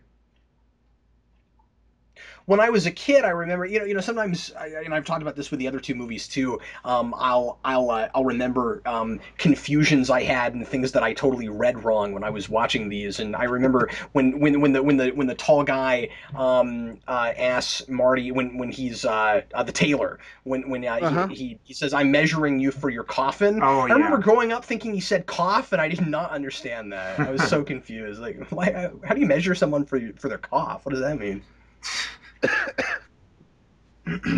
We got to measure Tim Lyons for Yeah, totally. And then they're still doing the, the, the, the crazy picture motif that makes no sense, but is still kind of cool. Oh Yeah, my goodness, I never noticed this. I never What? noticed this. Doc Brown's hat has a hole in it from where the bullet went through at the party. It goes clean through from the front to the back. That's and I saw awesome! the other side. I never noticed that. When you turn third is on the back. That's see some how- nice when continuity. it, yeah, when it blew Yeah, his that's hat actually off. really good. I never noticed that They before. made sure they used the same that. prop. That's oh, that's great. Oh, that's I never so caught that either. It's not quite as good as the clock tower thing from two. No, but it's You know, it is- Brandon and I, eh, it's been so many months since we did two. Brandon and I have gotten to where whenever we catch something that we never caught before in something, we, we've we've come to start calling it a clock tower moment. Yeah, yeah, exactly. Yeah, here's an interesting thing. You know that that hat that Doc Brown's wearing. yeah. Um, the the hole in the back would not look anything like it does. Why of course that? you would know that. Well, uh, here's the thing. like? You know, as soon as the bullet hit the first part of the hat, it would have Uh-huh. broken apart. but the hat's only made of felt, though. So what? Why Yeah. would Why would it break apart? I don't think the bullet's going to break on a piece of felt. I think it's going to go through. Like, I think you you are can shoot a bullet through underestimating the tr- you know the the actual um, uh, speed of the bullet. And, and Tim, I, I don't mean to disagree. Well, I am disagreeing. I, I, I don't I don't mean to, to be disrespectful. I guess is what I was going to say. But I don't think you can be hundred percent sure that they didn't fire a bullet through it. It's a it's a derringer at close range. So Like, can you be sure that's not how they got that? Well, I guess I can't be sure about that. It strikes me as a little bit odd having fired a number of bullets at things. I'm just saying, if that's how they got it, it would be kind of neat. Yeah, if that if that is how They they, got it, it'd shot- be kind of neat. But having fired a number of bullets at, at a number of Just things, fire a gun through it. especially soft things, right? Um, when especially when there's a little bit of give, like fabric, you know, that's when bullets will break apart, and that's when you'll have a larger exit wound. You know, sure, um, yeah, sure. Yeah, the whole idea is that you know when you have uh, somebody getting shot in the head or something like that, the exit wound, so to speak, will be a lot larger. Yeah, but you're also going through bone at that point. Well, sure, you're going through bone and whatnot, but you're you're primarily soft tissue. Um, you know, when it comes down to it, um, bullets can't penetrate more than six inches of water. Right, I understand that. Yeah, because they just break apart. You know, it's enough for me though that at least I can't believe we're still talking about this. It's enough for me though that at Me least neither. they have the felt coming out the other side like something went through it, and it's yeah, not just no, a that's hole. brilliant. Like there's at least an I attention to detail I absolutely there. love that. Yeah, no, I, I don't know if it's it's I don't know if it's scientifically accurate or not, but you know, I'm not going to hold that up to this movie. Uh, this is the first time that I've even noticed that, so I, I'm I'm so happy that they even had it. I'm so happy. Okay, Yeah, I'm so like Jesse Spano, you know, saying I'm so excited. And I just can't hide it. I've been on too much too many caffeine pills, and I just can't hide it. There is, a, there, You can't. There's no hiding that. Sorry, go ahead. There's an there's an uh, an urban legend that I actually I, I don't know if it's so much an urban legend as it might be reality, but the the uh, rigs that they used to build railroads were the same rigs that they would use to build uh, that they would build carriages. So approximately the rail the rail cars were about the same width as carriages. Okay. And then they would use the same jigs to make the car- uh, the original horseless carriage was a carriage with a motor in it. Basically, they were using some of the same rigs. uh-huh. There's a theory that says that the width of cars is basically based on what they used to do. So, in order to load, it's highly possible, and people do it, to load a car onto rail tracks that are about the same width. I would totally buy that. Some people have expressed concern, well, you couldn't really put a DeLorean on train tracks. Well, they're kind of similar widths. Granted, you have different scales, different vehicles are made to different standards, and you have different uh, scales of tracks too. But I can I can absolutely uh, uh, go with that without any sort of modification. Uh, I want to mention because you you know me, I have a I have a tendency to ramble on about um, you know you know character arcs and Hmm. what what these people are feeling and all that kind of boring stuff. Um, but I I. Uh, you know, just I the wanna- things that make a story worth telling. Yeah, I just I Hmm. want to re- I, I want to remind myself and make sure I'm right about this that this is the the Doc Brown from the first movie who who was from 1955 and he's not been to the 80s, correct? No, No, this okay. is the '80s Brown. This which is the why 80s he, He wants to go back with Marty to the '80s. Okay. Yeah, he's the guy. No, yes, he- that's he's right, the I'm guy sorry. that was there in the future and then went back to fix Of course. the Right. separate Yeah, and car. then got watching- struck. Yeah, wa- watching watching this uh, without having just now watched the other two in front of it, I, I got a little bit confused there for That's a second. all right. Yes, of course. Now he's been through Okay, everything. That's important. but so Everything he, that's yes, possible. of course. Of course, he, he's been he's been through absolutely everything. Um, Not well, only has he been through everything, but now that it's happened in the past with Marty going back from the future Yes. to meet up with the one, he should know that too. So would he remember technically, by both? I'm not sure. See, that's the the by confusing the thing. time by the time Marty gets back, that's an alternate timeline at that point, though. But the thing is, is that I would because everything converges by the end when they go back to 1985. Yes. everything converges. By this point, by the time that Marty gets back to 1855, Doc Brown should have expected him on the second. Because as it happens, if not, the timeline would have changed to where he couldn't have visited Marty in 1855. It's it's a whole thing. I do really appreciate that um, Marty, you know, obviously cares so much about Doc Brown that he um, that that that he uh, suggests, as he always has, that Doc Brown, you know, put himself in front of the timeline, and that um, that th- this time he's got to sacrifice what he wants in a way that he didn't do that, that he didn't do that the first time. Because you know the bulletproof vest thing he was he was maybe risking history a little bit by doing Mhm. that um, also, remember that the bulletproof vest thing we keep talking about how it comes from two, but it actually goes all the way back to one. Yes. Um, you know, you know yeah. that that perforates all perforates all the way through through through all three of them. But anyway, um, the uh, the but I but I do really like this idea that he's uh that he's had to you know do this horrible thing to her the way he breaks up with Yeah. her um and that uh you know he saved himself the first time but this time he's not doing that and it's cool because that was about saving his life this is about something technically kind of smaller and Mhm. yet it would cause more damage Absolutely. if he if he were to uh and remember that this also goes back to uh uh, City on the Edge of Forever from uh from, from next generation Okay. Be, or not next generation from original series right. because um you know they they've saved her she wasn't supposed to be saved you know what i mean Right. so they've already altered the timeline They already and he altered the- knows it and he's going to make it worse if he, he would make it a lot worse if he you know but then would he You know, either? here's what. ge- if thing- he took hang on if he took her with them wouldn't it actually be more likely to help the timeline because she's supposed to be dead Yeah, helps the timeline. No, I just thought yes. of that. Actually, the, yeah. the thing they should, the thing he should do is take her to 1985. Absolutely, yeah. I because have no all problem with he him should, taking her. he, come to think of it, all he should no, I, no, forget what I said. He's a moron right now because all he should care about and all he's ever cared about, except for in two when he was being kind of ridiculous for the sake of plot convenience, is uh, is the timeline up to the point of the present for him. Right, because he doesn't know how saving how the fact that he saved her is going to affect the timeline if he just leaves her there. He doesn't know what kind of kids she could have, Now- meet up with somebody, and Well, then that okay. would proliferate into Here's- 1985. But he does know she, he does know at this point she was supposed to be dead though, right? Right, They talk about Yeah, that. exactly. I'm sorry. Go ahead, Tim. Yeah, Yeah. no. At, at this point, um, what gets me is that she outright, abjectly rejects the idea that he could be from the future, and he doesn't, Yes. at the very least, say, "Hey, let me show you this thing."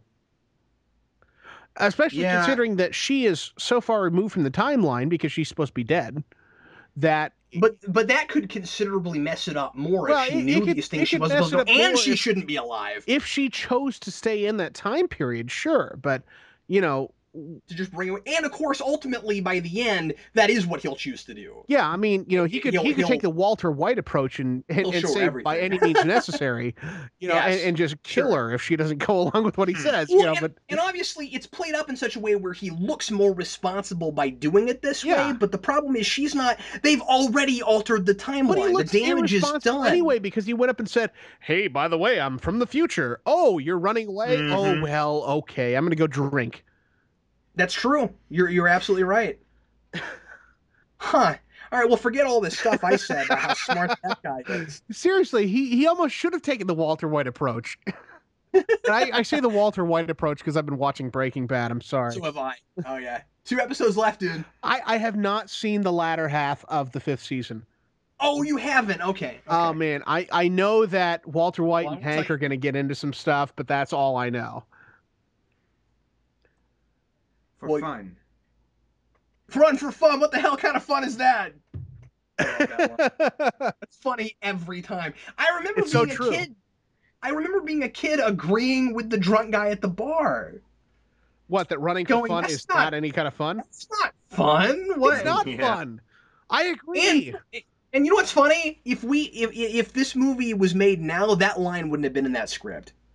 Probably not. You know what I mean? Oh yeah, we still run, but for fun. Well, actually, no. We just sit around and play video games and get fat. That's what we do now. Hey, hey.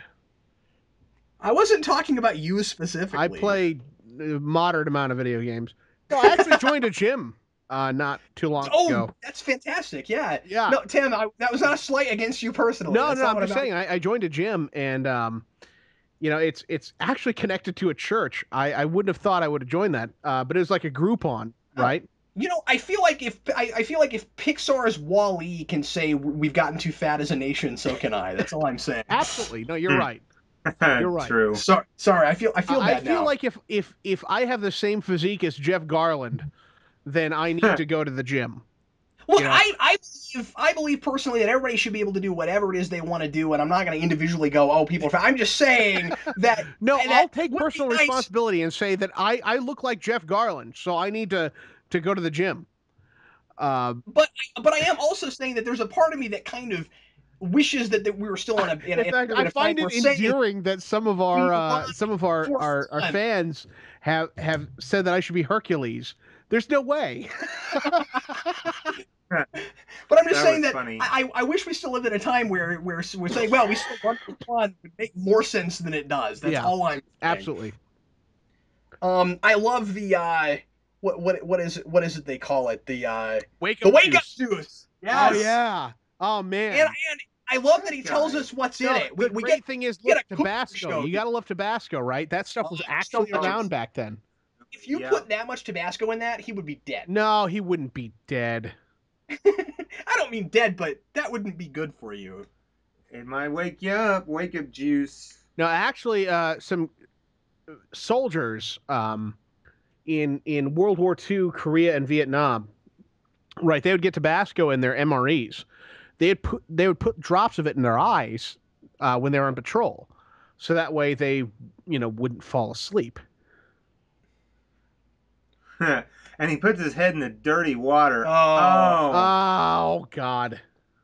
And and and then he's and then he's fainting. Well, woke him up, but that's great. I love this whole scene. It's very funny. You know, I was just thinking uh, how interesting it would be if you wanted to be a completely horrible, irresponsible person with your time travel machine.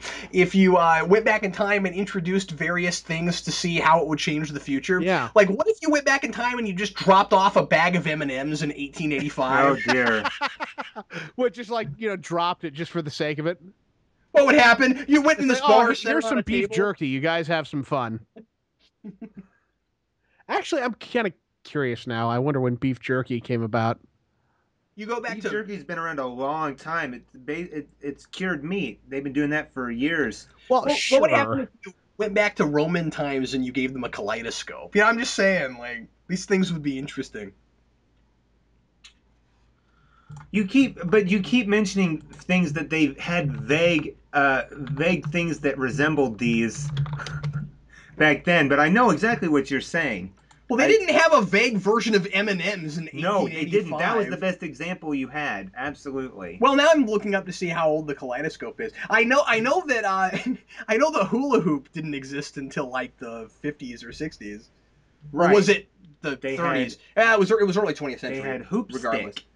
Yes. That's always my favorite. Hoop stick.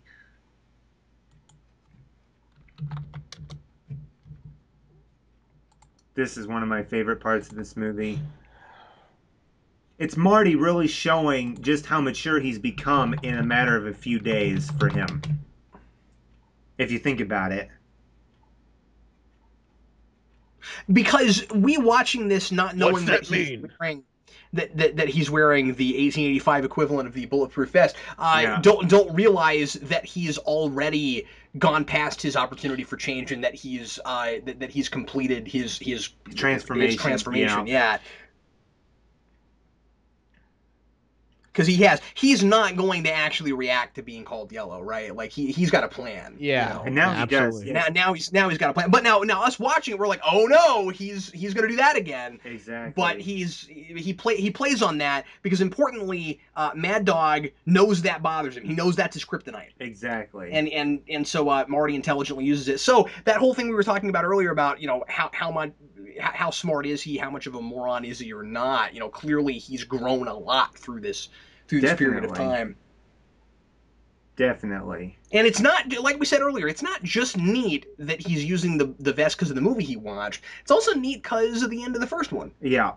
The end of the first one, the middle of the second one, and the end of the third and that and that whole vest thing in uh, in that movie originally when I first saw it I thought that was a callback. That was not Michael. J. Fox's They're still hand. doing it.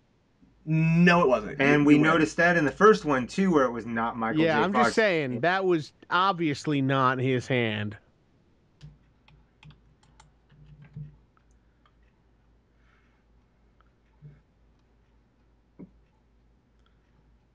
I feel like I've seen the bartender in something else. It says here he was in the Outlaw Josey Wales, but I've never seen that. But my uncle used to talk about it all the time.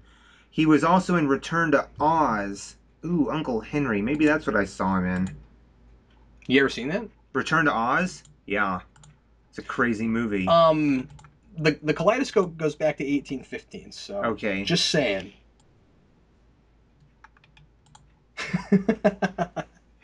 He's in a lot of things, man. He's in a lot of things, but not what I've seen is what I'm talking about. Well, I'm just looking at uh, everything that he's been in. Grace Under Fire, even I I love Lonesome I love that. Dove, Jeff Foxworthy show. I might have seen him in that. I love it when uh when Doc Brown, who has gotten used to this period before Marty even show up, says the thing I really miss here is Tylenol. yeah. He's in a movie called The Kansas City Massacre from 1975. Interesting. The Waltons, Mr. Hennessy. So I want to know what this guy with the bow tie does for a living. That's a good question.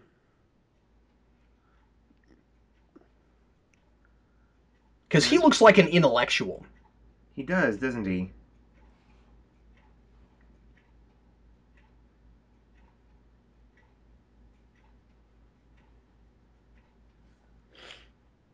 Well, here's what gets me. Like, okay, so in the Old West, Um, and this is just a uh, intellectual curiosity across the board. Like, what could things people, you know, what what what could people do for money back then? Like, what all could people do? Uh huh. Oh, that guy's a barbed wire salesman. He is. Yeah. Where do we get that? I forget. Uh, it, I I looked it up, but he he says it somewhere, and his companion. that's I'm pretty sure that's the barbed wire salesman. Well, it makes sense that he's in sales. I mean, I could totally buy that with that getup.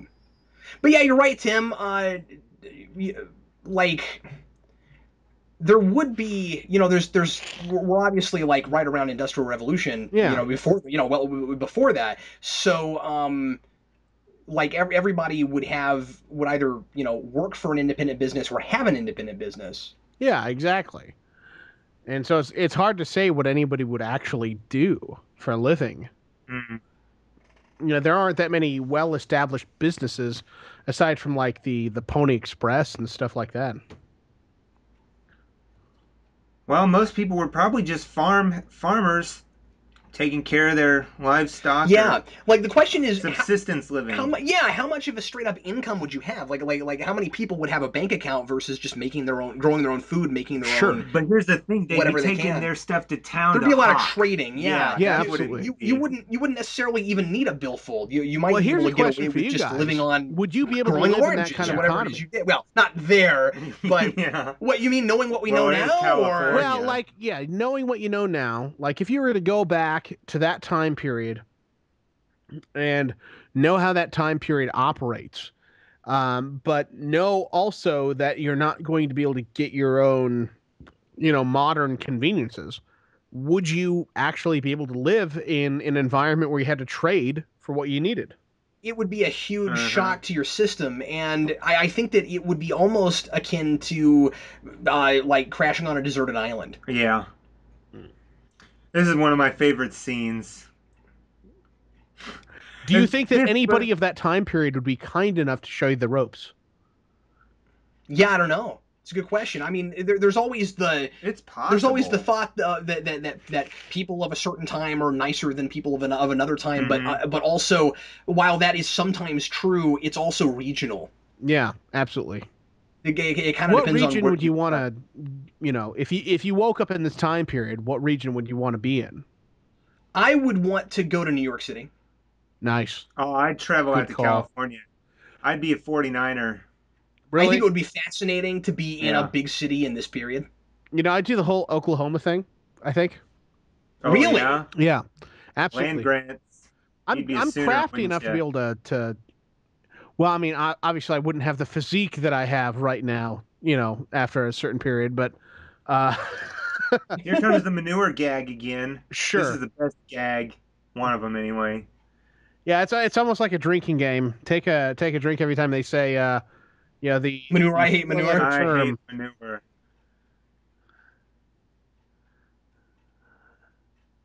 was good. Seamus.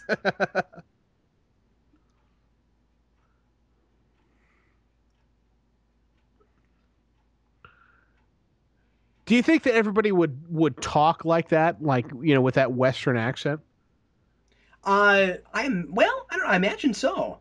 I guess it's hard to know. Um, but again, you know, you know, everything is regional, and most people would never have ventured very far out to, like, you know, be influenced by other accents. No. So, I I would imagine so, Tim. I know I'm I'm pulling a lot of what ifs. No, it's cool. I, well, it's hard not to think about those sorts of things when you when you're when you're dealing with time travel. Absolutely.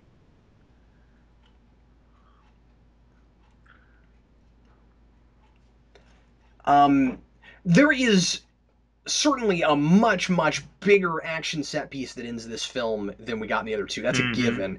Um, and I mean, the thing with the tunnel in two feels grandiose until you get to this, and they do the whole train thing, which is almost. And I don't mean this word in a bad way. It's almost obligatory. You almost Yes. have to do that. You, you It's almost this have movie's to car chase. Okay, yeah, not just that, but you're right. But for a western, You, Oh, you've got to yeah. have the horses running alongside Oh, the train, yeah. and isn't it cool that we get the Yeah, twist absolutely. like the the uh, hoverboard and stuff, where we can we can bring all these things to do and coalesce all these all these ideas. Her her realization here. Yeah. I've always loved it. I've absolutely loved it. Every I've had, single always had a problem with it. Okay, go ahead. Oh, really? Well, okay, here's the thing. Like if if Doc Brown hadn't like he made such a big deal about not showing her the DeLorean. Why would he label it the time machine? I don't know. You know what I mean? Like what possible end game could he have Isn't it also?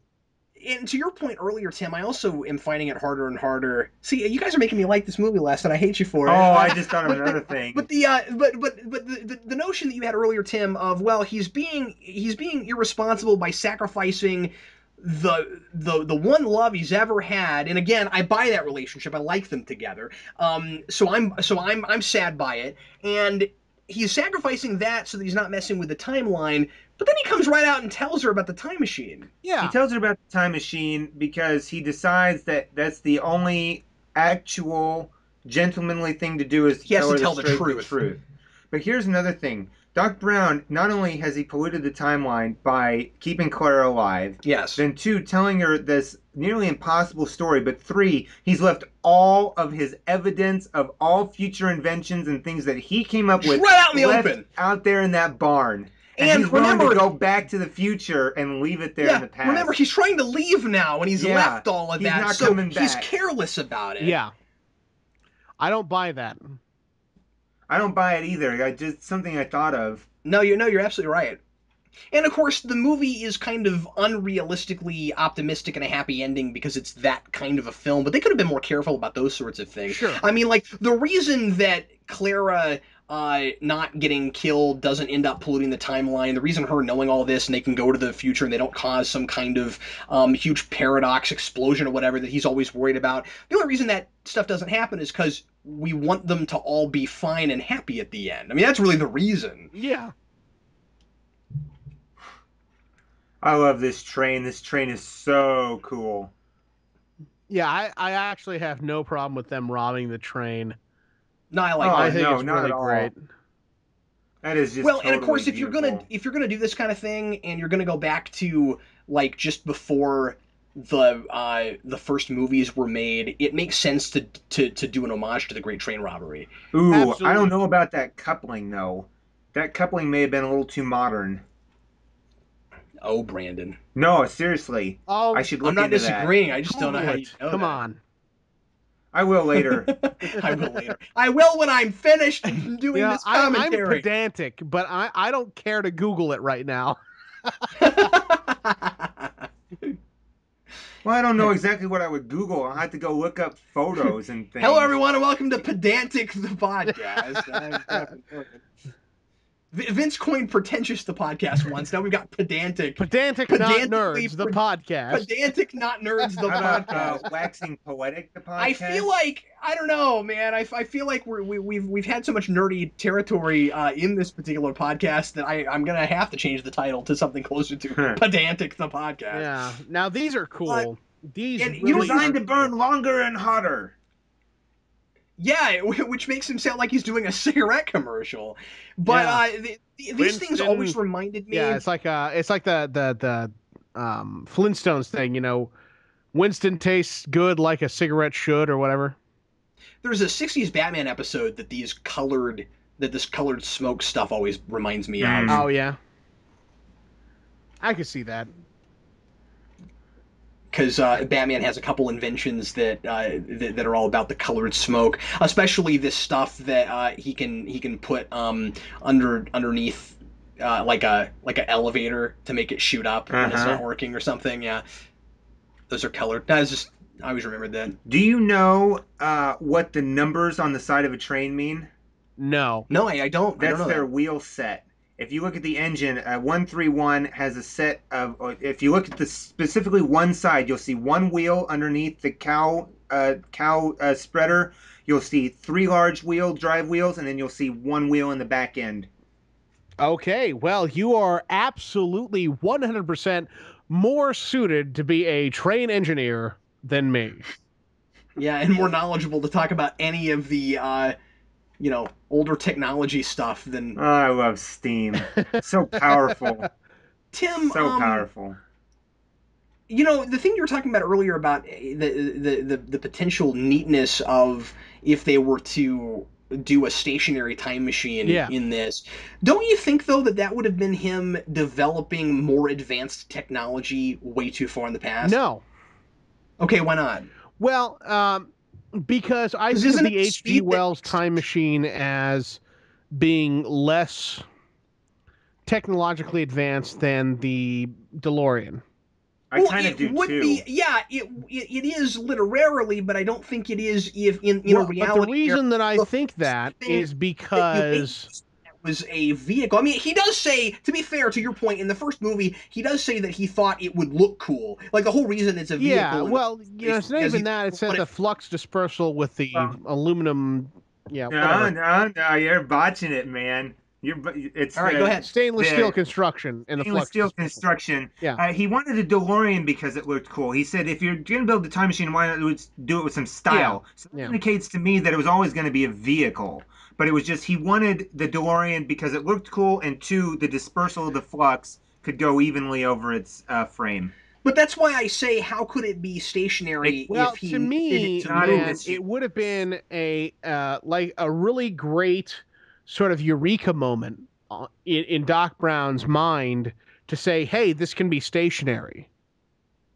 No, I think it's probably more like he probably tried any number of things, but then realized it had to be moving. But I guess my well, point but, is, I don't but know how. he could have he could have decided it needed to be moving long before he he came upon the realization that it could be stationary.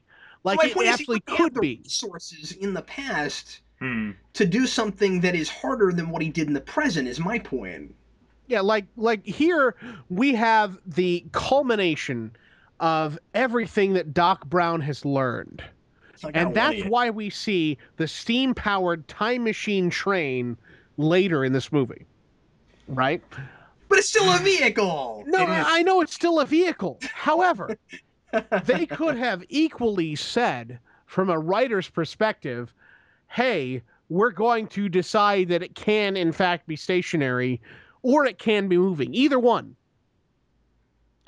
You know, and say that that I just feel like that would have had to have been established prior to the 1885 stuff, but that's just me. Well, I don't think that it would have needed to be established prior to the 1885 stuff. I, I think it, it would have needed to be written into the story so this scene didn't need to happen.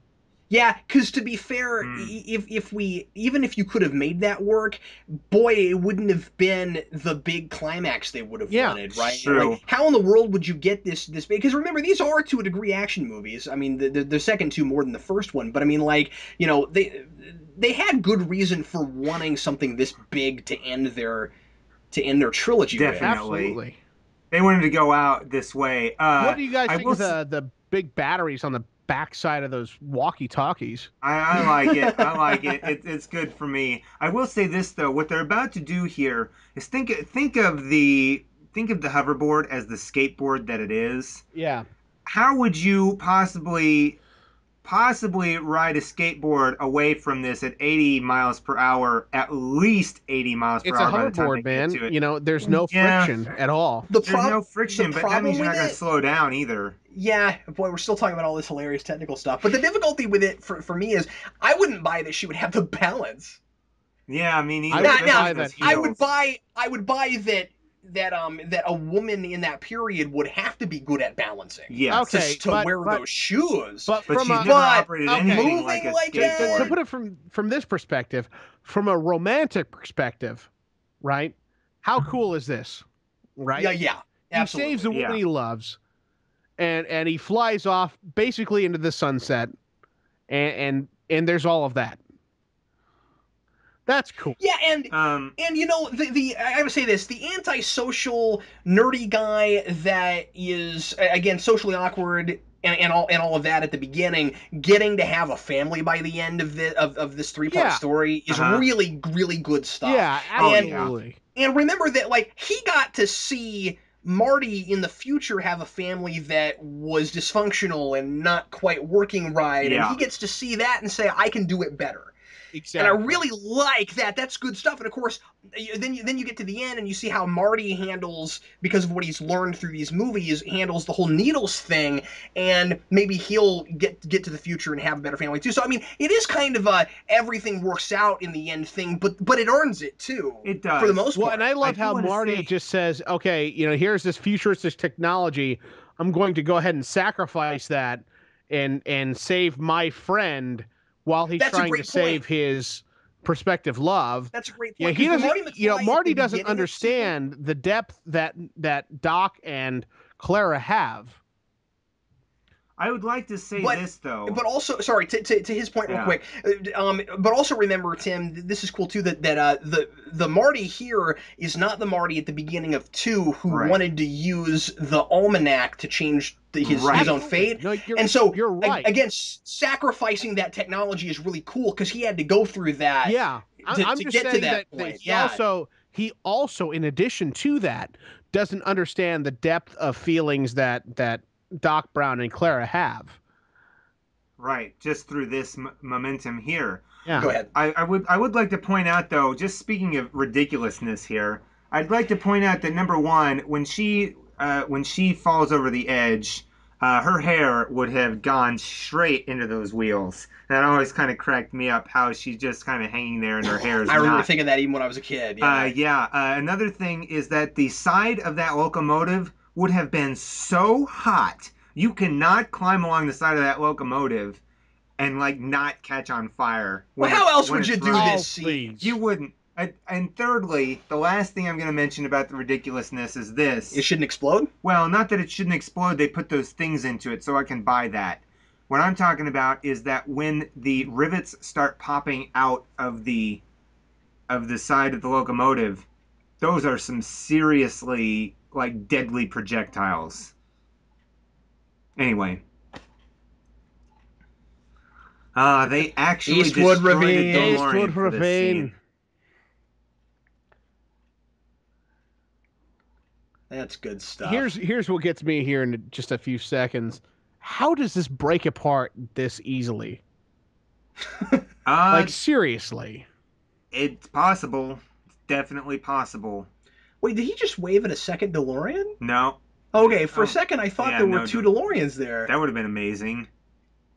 Boy, if we weren't doing a commentary, I would back that up and see what kind of car it- that was. What if what if that had been like a DeLorean from the first one, where Marty gets stopped at a, that would have been amazing.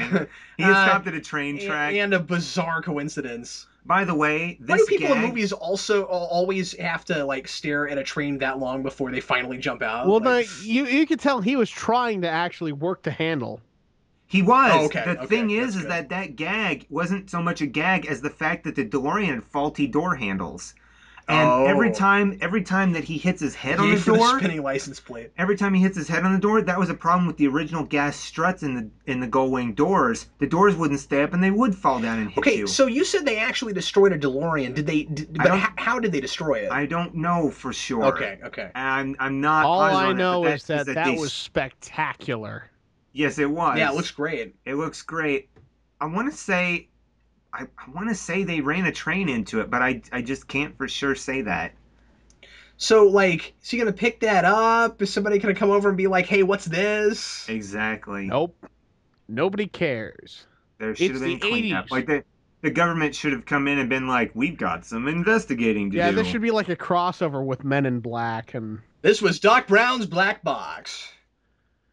it's like, yeah, oh yeah, it was some swamp gas that reflected off of Venus, and you know what I love about this scene here is that it, it it it feels like it's been so long since we've been here. You know, because because it, to- it sort of kind of has, you know. But if you think about like like like the second movie, he's been here, but it was all wrong and messed up. Like, how long has it really been for us watching these movies since we got to see these people here? Right. yeah, in the totally. version that got changed by the 50s where you know they're they're thin and happy and not dysfunctional and all of that Well, it's only the amount of time whatever was set on that uh, what time clock I don't remember where they were setting him to go back to. he looks older You gotta love how George McFly is just in the background. Uh, and that's simply because they couldn't do a lot with him. Well, no, being no, what sure, yeah, Crispin yeah, yeah, because. Crispin Glover wanted way more money than he was worth. Oh yeah. Maybe now he could command more like what he wanted then, but not at that time. I doubt it. I, I I doubt they paid him very much for Hot Tub Time Machine. Mm. We've talked about this. Oh yeah, man, Hot true. Tub Time Machine. Oh, I love that movie. Have you seen previously, uh, or have you seen uh, uh, frequently asked questions about time travel? The one No. with No, Chris what is that? O'Dowd? Is that a movie? Yeah, it is. It's great. It's absolutely fantastic. It's it's got the guy from um, um, uh, uh, uh, the IT crowd, Chris O'Dowd. Yeah, Hmm. and it's amazingly awesome. It's it's a great time travel movie.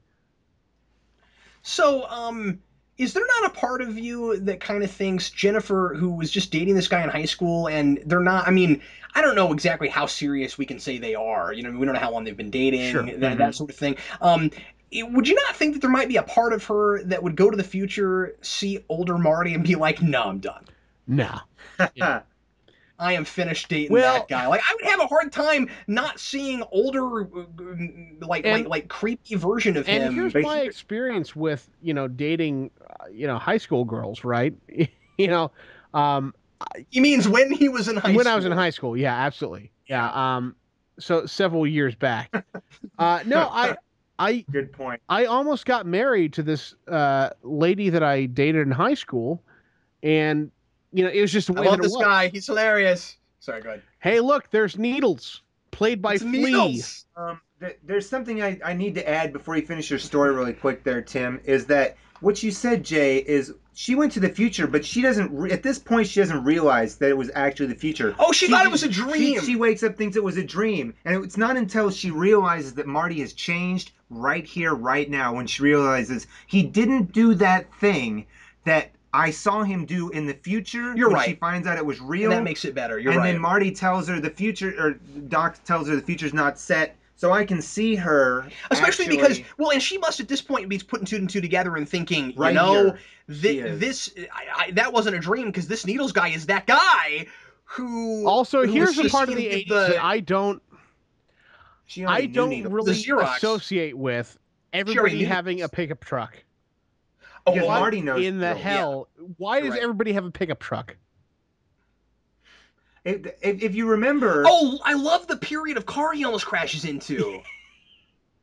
That's That's- awesome. Yeah. yeah, that's the Rolls Royce. But if you think about it, the re they're at this is the this is the period when these trucks were big. They were huge. No, Yeah, seriously, I, I, all I'm points. saying though, I'm not saying that they weren't huge. I'm just saying that original- I don't, uh, you know, associate with that as much, um, because I, I didn't but grow grew- up in a an era where they were huge. Right. And see, I grew up in a region partially where they were really big. My, my Oh, dad had South. a pickup truck. Most of the people I knew had pickup trucks. Uh, Yeah. when I was a little when I was a little kid, and even you know what though, I uh, around this period of time, Tim, li- like like like 91, 92, my dad Mhm. had a pickup truck, and so did like half Oh, half the four people by he fours worked were with. were Four by fours here. were yeah, we're, and we're talking right here where we live That right is now. not Marty's hand again. Wow, what is with the old person hand? Wow. Oh, Um, this is great because the things actually start to come down before Doc gets here, Yeah. which I'm Well, not and then sure. uh, who's seen Ariel, the why- animated series? yeah. uh, neither I of have. us. No, I have. Oh, you have. I've watched part of it. Yeah.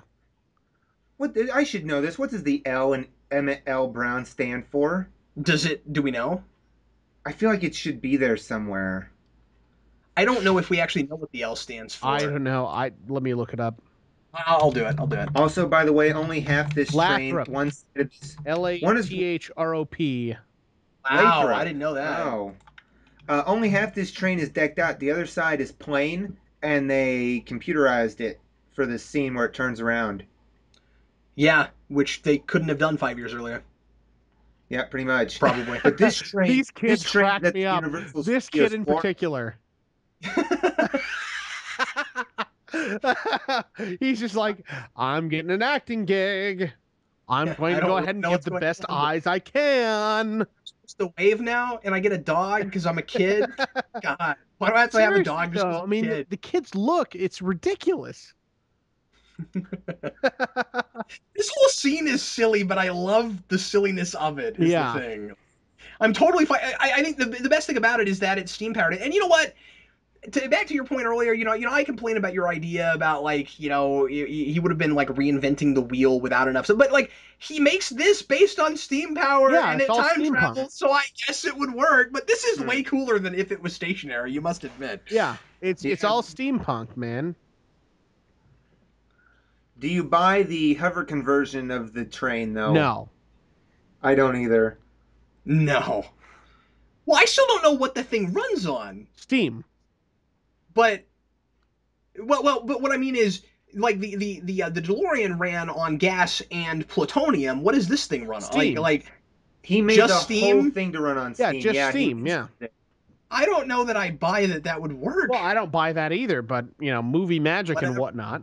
yeah, yeah, no, I I I, I got you. Um, so, I'm sorry, real quick, something I want to say earlier about Uh-huh. uh, I, I had a point I was making about Jennifer. Oh um, yeah. which was there is a whole other fascinating maybe we talked about this i forget fascinating story that never gets told that i would have loved to have seen somehow told somewhere. Um where where what you're just gonna leave her there on the porch? Yeah. and then like like you know you know what what would the story have been like where she wakes up and has to deal with being in that period? Like that would have been really interesting. True. we don't get that. True. they really do just get rid of her for that movie. Anyway what what was your story there tim that you were telling from earlier that we totally cut you off on Oh, I. Well, I don't honestly remember at this point, but that's okay. we were we were, ta- we, we were we were talking about uh, dating high school girls Yeah, well, I was just, you know, basically saying that that uh, you know, however serious he he decided he was going to be with Jennifer, you know, that doesn't necessarily mean that's going to happen, but you know, that's really it. it would be really interesting if you not not that I want to see a Back to the Future four. I mean, I would never want to see that, especially because you'd have to recast everybody. But Yeah. um, but but uh, but you know, what, how interesting would it have been to do another one where just nah, you don't have, she's not around anymore. Hmm. Actually, that would be the, that would really be the Hollywood thing to do, wouldn't it? Where Yeah. like they write off in like a line of dialogue. yeah, that would be. Uh, let me let me interject here. Uh, the actor who played Vern Brown at the end there, the little kid, one of the kids, he was only in two things: Back to Future Part Three and Erie, Indiana. Uh, he played played a character one episode called Bob Bob, and then the other guy, the other little kid who played uh, Jules Brown, he was in a few other things, uh, most of which were before this movie.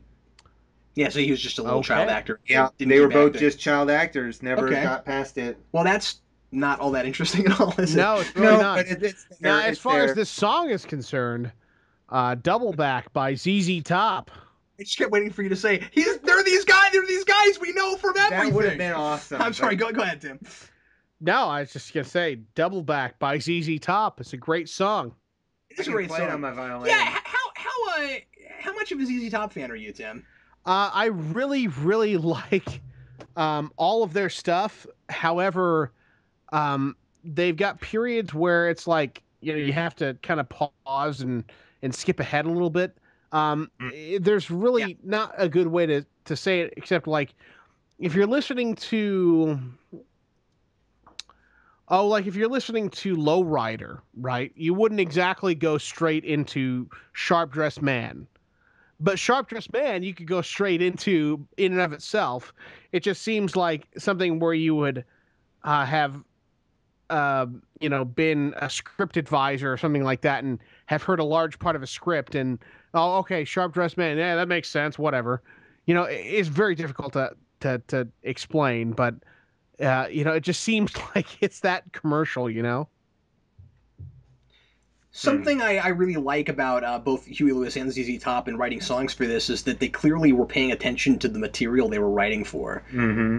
Because the lyrics of that song have um, a little bit more than just peripherally to do with this material, but it's not like doing that thing where it just tells you the plot of the film in the song. Right. right You know, like every time Will Smith ever wrote a song for one of his movies. Here comes. And now I and now I'm writing all the stuff that happens in it. yeah it's not He like men that in black last- or Yeah. whatever he did for whatever he happened to do for uh, um, Independence Day. I don't think he did a rap song for Independence Day at all. But Are you sure? There was there was one for Wild Wild West. Well, sh- certainly there was. Was- Yeah. Let's, let's not forget a star vehicle there. Fresh Well, Prince of Bel Air. Well, that wasn't a star vehicle. That was the thing that got him Well, a star. The that's rest of right, the things were yeah. technically are star And, and, vehicles. I you mean, know, this is a story all about how my life got flipped turned upside down. Yeah, and and importantly though, Independence Day is is was not a star vehicle for him. That was the movie that got him that big. So they wouldn't have given him a rap deal for that movie probably because he was he was just one of an ensemble cast. Totally, Whereas totally. those other movies, I mean, there was still an ensemble cast, but he but but they were partially star vehicles for Yeah, him. and, So you know, I'd like to take a minute, just sit right back. I'll tell you how I became the prince of a town called Bel Air. you, you realize that while you're doing that, I'm noodling when exactly I'm going to make you do that for Oh, cold read. on In fact, I I gotta tell you, thinking about Back to the Future, I almost gave you some ZZ Top tonight when we did the live. Well, I, you know, I wouldn't have known. Seriously. I almost did that, and one of these days that might that might happen. I'm sure oh, it well, might. The nice thing is, there's plenty of stuff that Tim Lyons knows. I throw at him. Well, you know, at this point, you know, now I've got enough cameras at my place, uh, you know, between your place and my place that we could almost do this anywhere. Yeah. Um, it doesn't really matter. What uh, well, uh, because remember credits don't go as long in these as they do now. Um, Hmm. what what uh, what are you guys' uh, uh, final thoughts now that we've gotten through the entire trilogy and um, like how how Hmm. these how these hold up now and how you feel We- about the whole thing having having gone through them again? We may have torn these apart. We may have ripped them new ones. We may have turned them inside out and forward, but they still land on my very top of my very top of my favorite movies of all time. Even including three, because I, I got the feeling through this that you were really down on this movie comparatively. I still Comparatively. they- You know, I'm gonna be so, completely come honest. together. I'm only so I'm I'm I'm really really um picky about it because I love it so much. Yeah. That's really it. Yeah, you nitpick it to Mhm. death because Yeah. it's too much fun Yeah, to look like, at, it it's- at that closely. Yeah, and you know what? I've gotten some some flack here and there for things I do that with Tim, and I think you're. You, you- I feel the same way you do about it. I'm that way with anything Star Trek. I look at it that closely with the fine tooth comb because I care that much Yeah. But about here's it. the thing. Also, we have to look at this, something like this, with an even finer tooth comb because they did put just that much attention put to so much detail. into in Absolutely, that. yeah. Absolutely. So you know what? going This- This sort of story, man, like just to throw it out there and just to be that guy. I mean, you know, the Back to the Future trilogy uh, with my own life, right? You know, like Yeah. uh, it, it Well, it's it's one of those things, man. If I had to really nitpick it and really just naysay it, it, it would be like me crying when I was a kid. You know, like I would cry over what I would say about it now that I'm an adult. Uh, but I don't really, I don't really hold that against it. Um, it, it, it's just that that's what I would say about it. You know, I would point these things out, but I would still hold the ideals that I had when I was a kid. You know what I mean? Yeah. Because they all- they're all still completely valid. Well, and that's and that, that's one of the great things about these movies for me is that you know you know like you guys and we're all really close to the same age. Obviously, we all grew up real hard on these, and I have a lot of things that I am really nostalgic for that I I, I cringe when I go back to them because they don't hold up and they're not as good as I remember them. And these continue to be you know through their flaws and they've they've, they've Yeah. got their problems um they continue to be as good or better than they were when i was a kid and the, and the thing that makes me love them more is the stuff i catch that now that i've had life experiences i go oh that's what that meant okay Exactly. Yeah, exactly. and so it's more fun to have that experience Uh, instead of something that you thought was brilliant or just really entertaining and you watch it and you go crap there's no substance there Right. back to the future Uh-huh. if nothing else is not devoid of substance No, Like, no, some no, other nothing things like that. No, that nothing go back like that to, at all. Exactly. Uh, there's a, there's another thing that I'd like to mention is that so many things that we go back and watch that we would hope would have held up relied so heavily on what they were doing at the time as advanced special effects. They relied so heavily Yeah. on them, and you go back and most of the movie is these what were advanced that now look like they were made back then. This didn't. This had its effects, but the effects were sparse. They were well placed and they were well done, and they still look as good today as they did the day they showed on the big screen. Yeah, well, time. and what's important is that they don't intrude upon the story, so Right. that you're not thinking about them. Even even this many years They are later, you're not thinking about the effects. the You're just story. watching. You know, you know, we, we kept talking through effects. I'm not even thinking about them in, these movies. You know, um, we go. I mean, we talk about big set pieces and some of how they did things, but like even you know the, the very end, the, the the train coming at you, that was an early digital effect, and it looks really good. It looks you know? really good. Yeah, and yeah, not we that, weren't talking about how for the they did the storyline. effect. We were talking about why would they need to do that action as as characters. Yeah, you know, we were right. talking about the characters. Why would they need to do that as opposed to, you know, oh, it well, let's see how they did that as an effect. It's great too because the, the, the flying the, the the flying train at the end is indicative of the flying car number one. Oh, you Oh, yeah, know, it's of just course, it- yeah. it's just how it was the perfect way to wrap up a trilogy that didn't start out as a trilogy. And that's what makes number one hold up so well as an independent movie. You don't even have to have two and three. Don't get me wrong, I'm super glad we do. Yeah. But yeah, and and I think that it has that in common with uh, with a lot of great, well, with at least a few really great movies, and it's funny because they're all kind of the ones I'm thinking of are all sort of from the same period. A lot of them. Mhm. Uh, the the the, uh, the notion of the movie that we made that we hoped would be great enough that we could make sequels, but Right. we didn't know if we'd get you know, them. And here's the has trilogy that- that that this has that in common with Star Wars, Right. Because that movie was set up to be like like a like like part of an ongoing thing that didn't exist yet, Yeah. but Right. it, it it stands on its own. But then it became a trilogy, Right. And, it, and it works as a trilogy. No, but And- no, no. The, the, but Back to the Future never was even designed to be part of a trilogy. No, Right, it wasn't exactly. designed that way at all. No. Now, talking- now to me, Back to the Future uh, has more of a parallel with the Teenage Mutant Ninja Turtles movies. Well, what do you mean by Okay, that? now, now bear with me here. Uh, you've got the first one that was And- uh, absolutely, you know, based on the source material, um, at least as far as it could be. Um, and you've got the second and the third that were, you know, more or less crowd pleasers. Now, in, with the Back to the Future series, it was, you know, both together as opposed to separately, so it wasn't nearly as bad, you know, it was also continuing on an ongoing story, though. Two and three are standalone films for Ninja Turtles. Yeah, yeah, absolutely. But just as far as my childhood, as far Yeah, as how okay, I perceived it, you know, um, you know, that's that's the way that story arc went. You know, uh, just just because, just because, uh, you know, Back to the Future one and Teenage Mutant Teenage Mutant Ninja Turtles one, you know, they they were both in the same kind of time period, right? You know, Yeah. uh, and of course the second one, third one, you know, what what have you.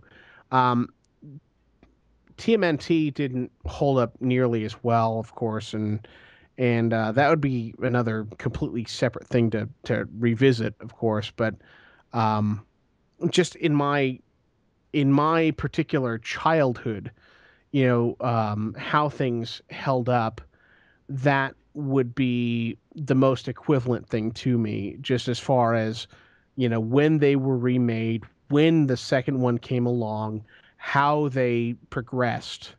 You know that's that's kind of where i'm coming from there I'm just saying that production wise, I mean, yeah, there was probably a lot more forethought in if it happened to be popular enough, here's where we would probably go with Star Wars. But I still submit that A, they had no idea with either that or Back to the Future if those were going to be viable enough for sequels. Right. Um, Sure. That they that, that both of them were made with not giant budgets and um and uh, you know you know a whole lot of uncertainty, and also that um if they had known that they were going to make more of them, they because again the fact that that each of those plays out as a complete three part story, and they, Sure. they they they had to retroactively figure out how to make that work. So so um I would imagine that there would be things that would have been different in the first Star Wars film, for example, Right. just like with Back to the Future, had they know they were going to keep going and making more of them. I have a hard time imagining that Yoda would not have been introduced in the first one, Right. For instance. Me too. Yeah, they, and and they and they wouldn't have done. And so what I'm saying is, they wouldn't have done Jennifer in the first movie the way they did her if they had known they were going to get. More. i don't That's think that true. yoda would have been in the first star wars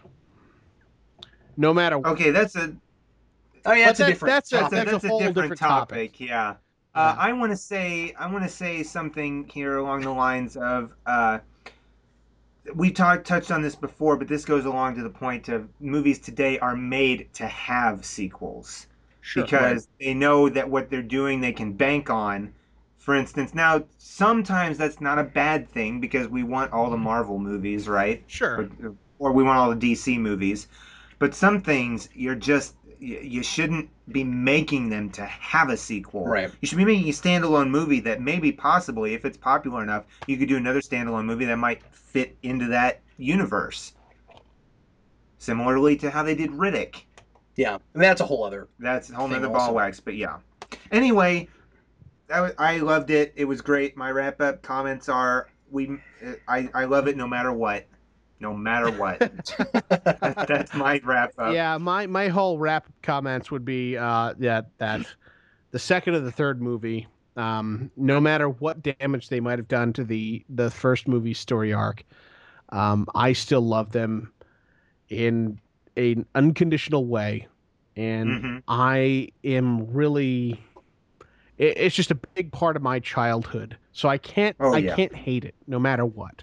There's Oh, there's yeah. absolutely no way that I can hate uh, the Back to the Future movies or the TV shows or any property touching Back to the Future.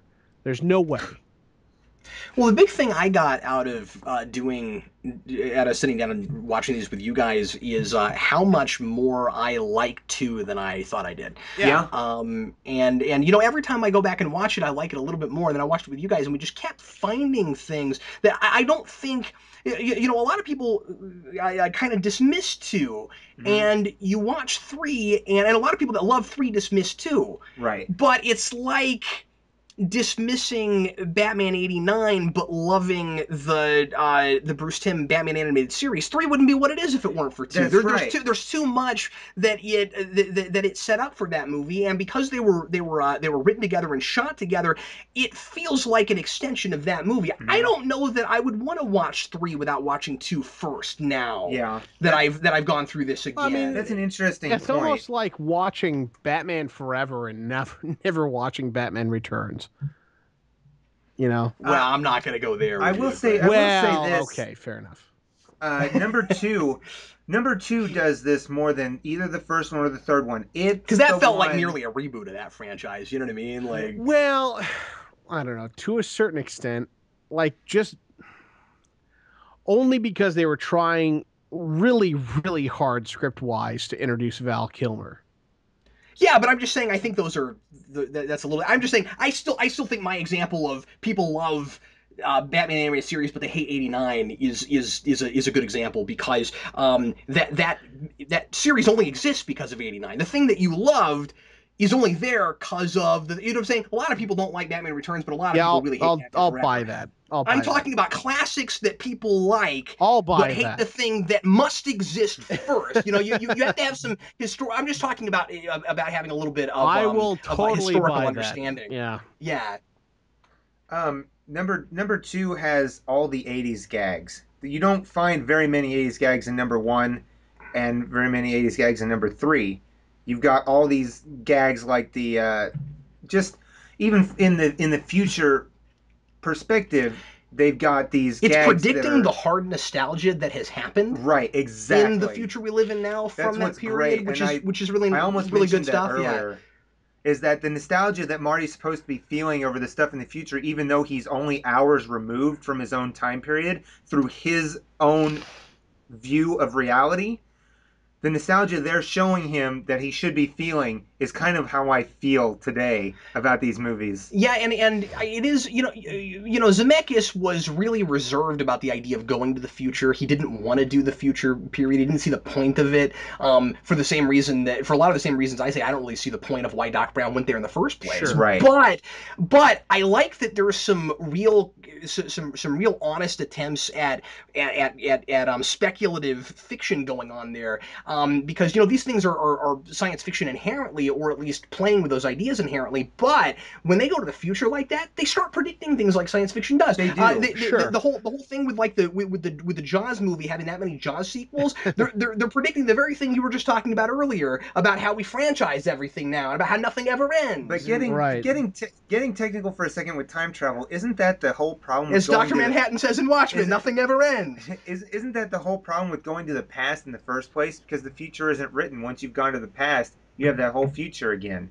How can you really go back to the future? Well, and then we get into this really interesting kind of metaphysics of the whole thing, right? Of like, Right, you know, yeah. if, if That you're able to, travel- if you're able to travel through time, it would that, that would completely change your perceptions of what reality is. Right, and we are only traveling through time in such as our own mental construct of what time currently is, Yeah. And that Because if we were because to you go would to the perceive past, it as you were creating You- different versions of right, people as you, did it. But, you know, not it to as your protract, reality. um, you know what we have as far as as uh, you know time travel, uh, uh, you know here, Yeah. yeah, that that the really the the main event of the Back to the Future movies is more just you know really appreciating what you have and appreciating what your time period gives you you know because uh you know in the first movie you've got marty mcfly really needing to appreciate what the 80s and and really what his family would give to him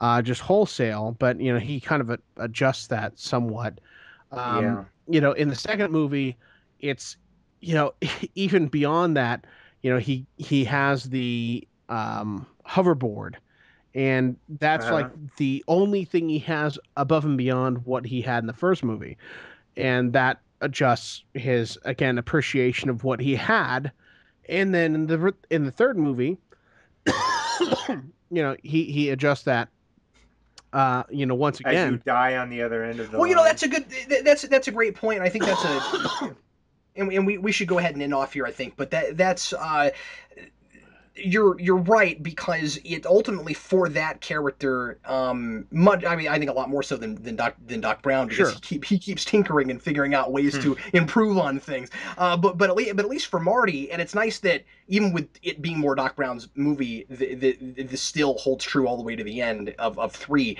Um, the, it doesn't lose sight of that. That it's it's it's about like you said, appreciating what you have and not having a grass is always greener kind of philosophy about things. yeah sure yeah, Yeah. exactly Uh, or- And um, even it makes the do, '80s like, look like you know, a having a healthy period than anything mentality about it. did. you know um, because you know even if you have a grass is, is always greener mentality about it you know having a, a healthy version of that um, you know Yeah, being a little bit more content. You're still trying to improve yourself. You're still trying to make life better for yourself. absolutely. but being content and, and, and remember that, that that you know the the, the middle-aged version of marty uh, that's his whole thing he can't be he's ruined his future he thinks and he Mhm. can't be uh, content with where he is now yeah and, and, the whole the whole uh, impetus of the the marty character in the first two movies was you know more um, hey you know i i can't really you know i can't hand this in i i can't be judged uh, on its barest essentials because you know what if they don't like it what if they think i'm no good well i don't know if i can take that kind of rejection you know and Right, that and he's totally old man changed. right so yeah and that's where the whole i'm not don't call me yellow thing plays in because the- the, the reason he's so worried about that is because he's afraid he is that way Right. Exactly. Yeah. It's, it's more his own perception of himself more than anything else. well everybody thanks as always for listening to geese not nerds the podcast we sure appreciate it tim come back anytime dude for another one of these Gotta love it. Yeah, absolutely. Anytime. well anyway uh, thanks again everybody for listening we sure appreciate it i'm captain logan I'm Tim Lyons. And I'm Brandon. and we'll see you again very soon.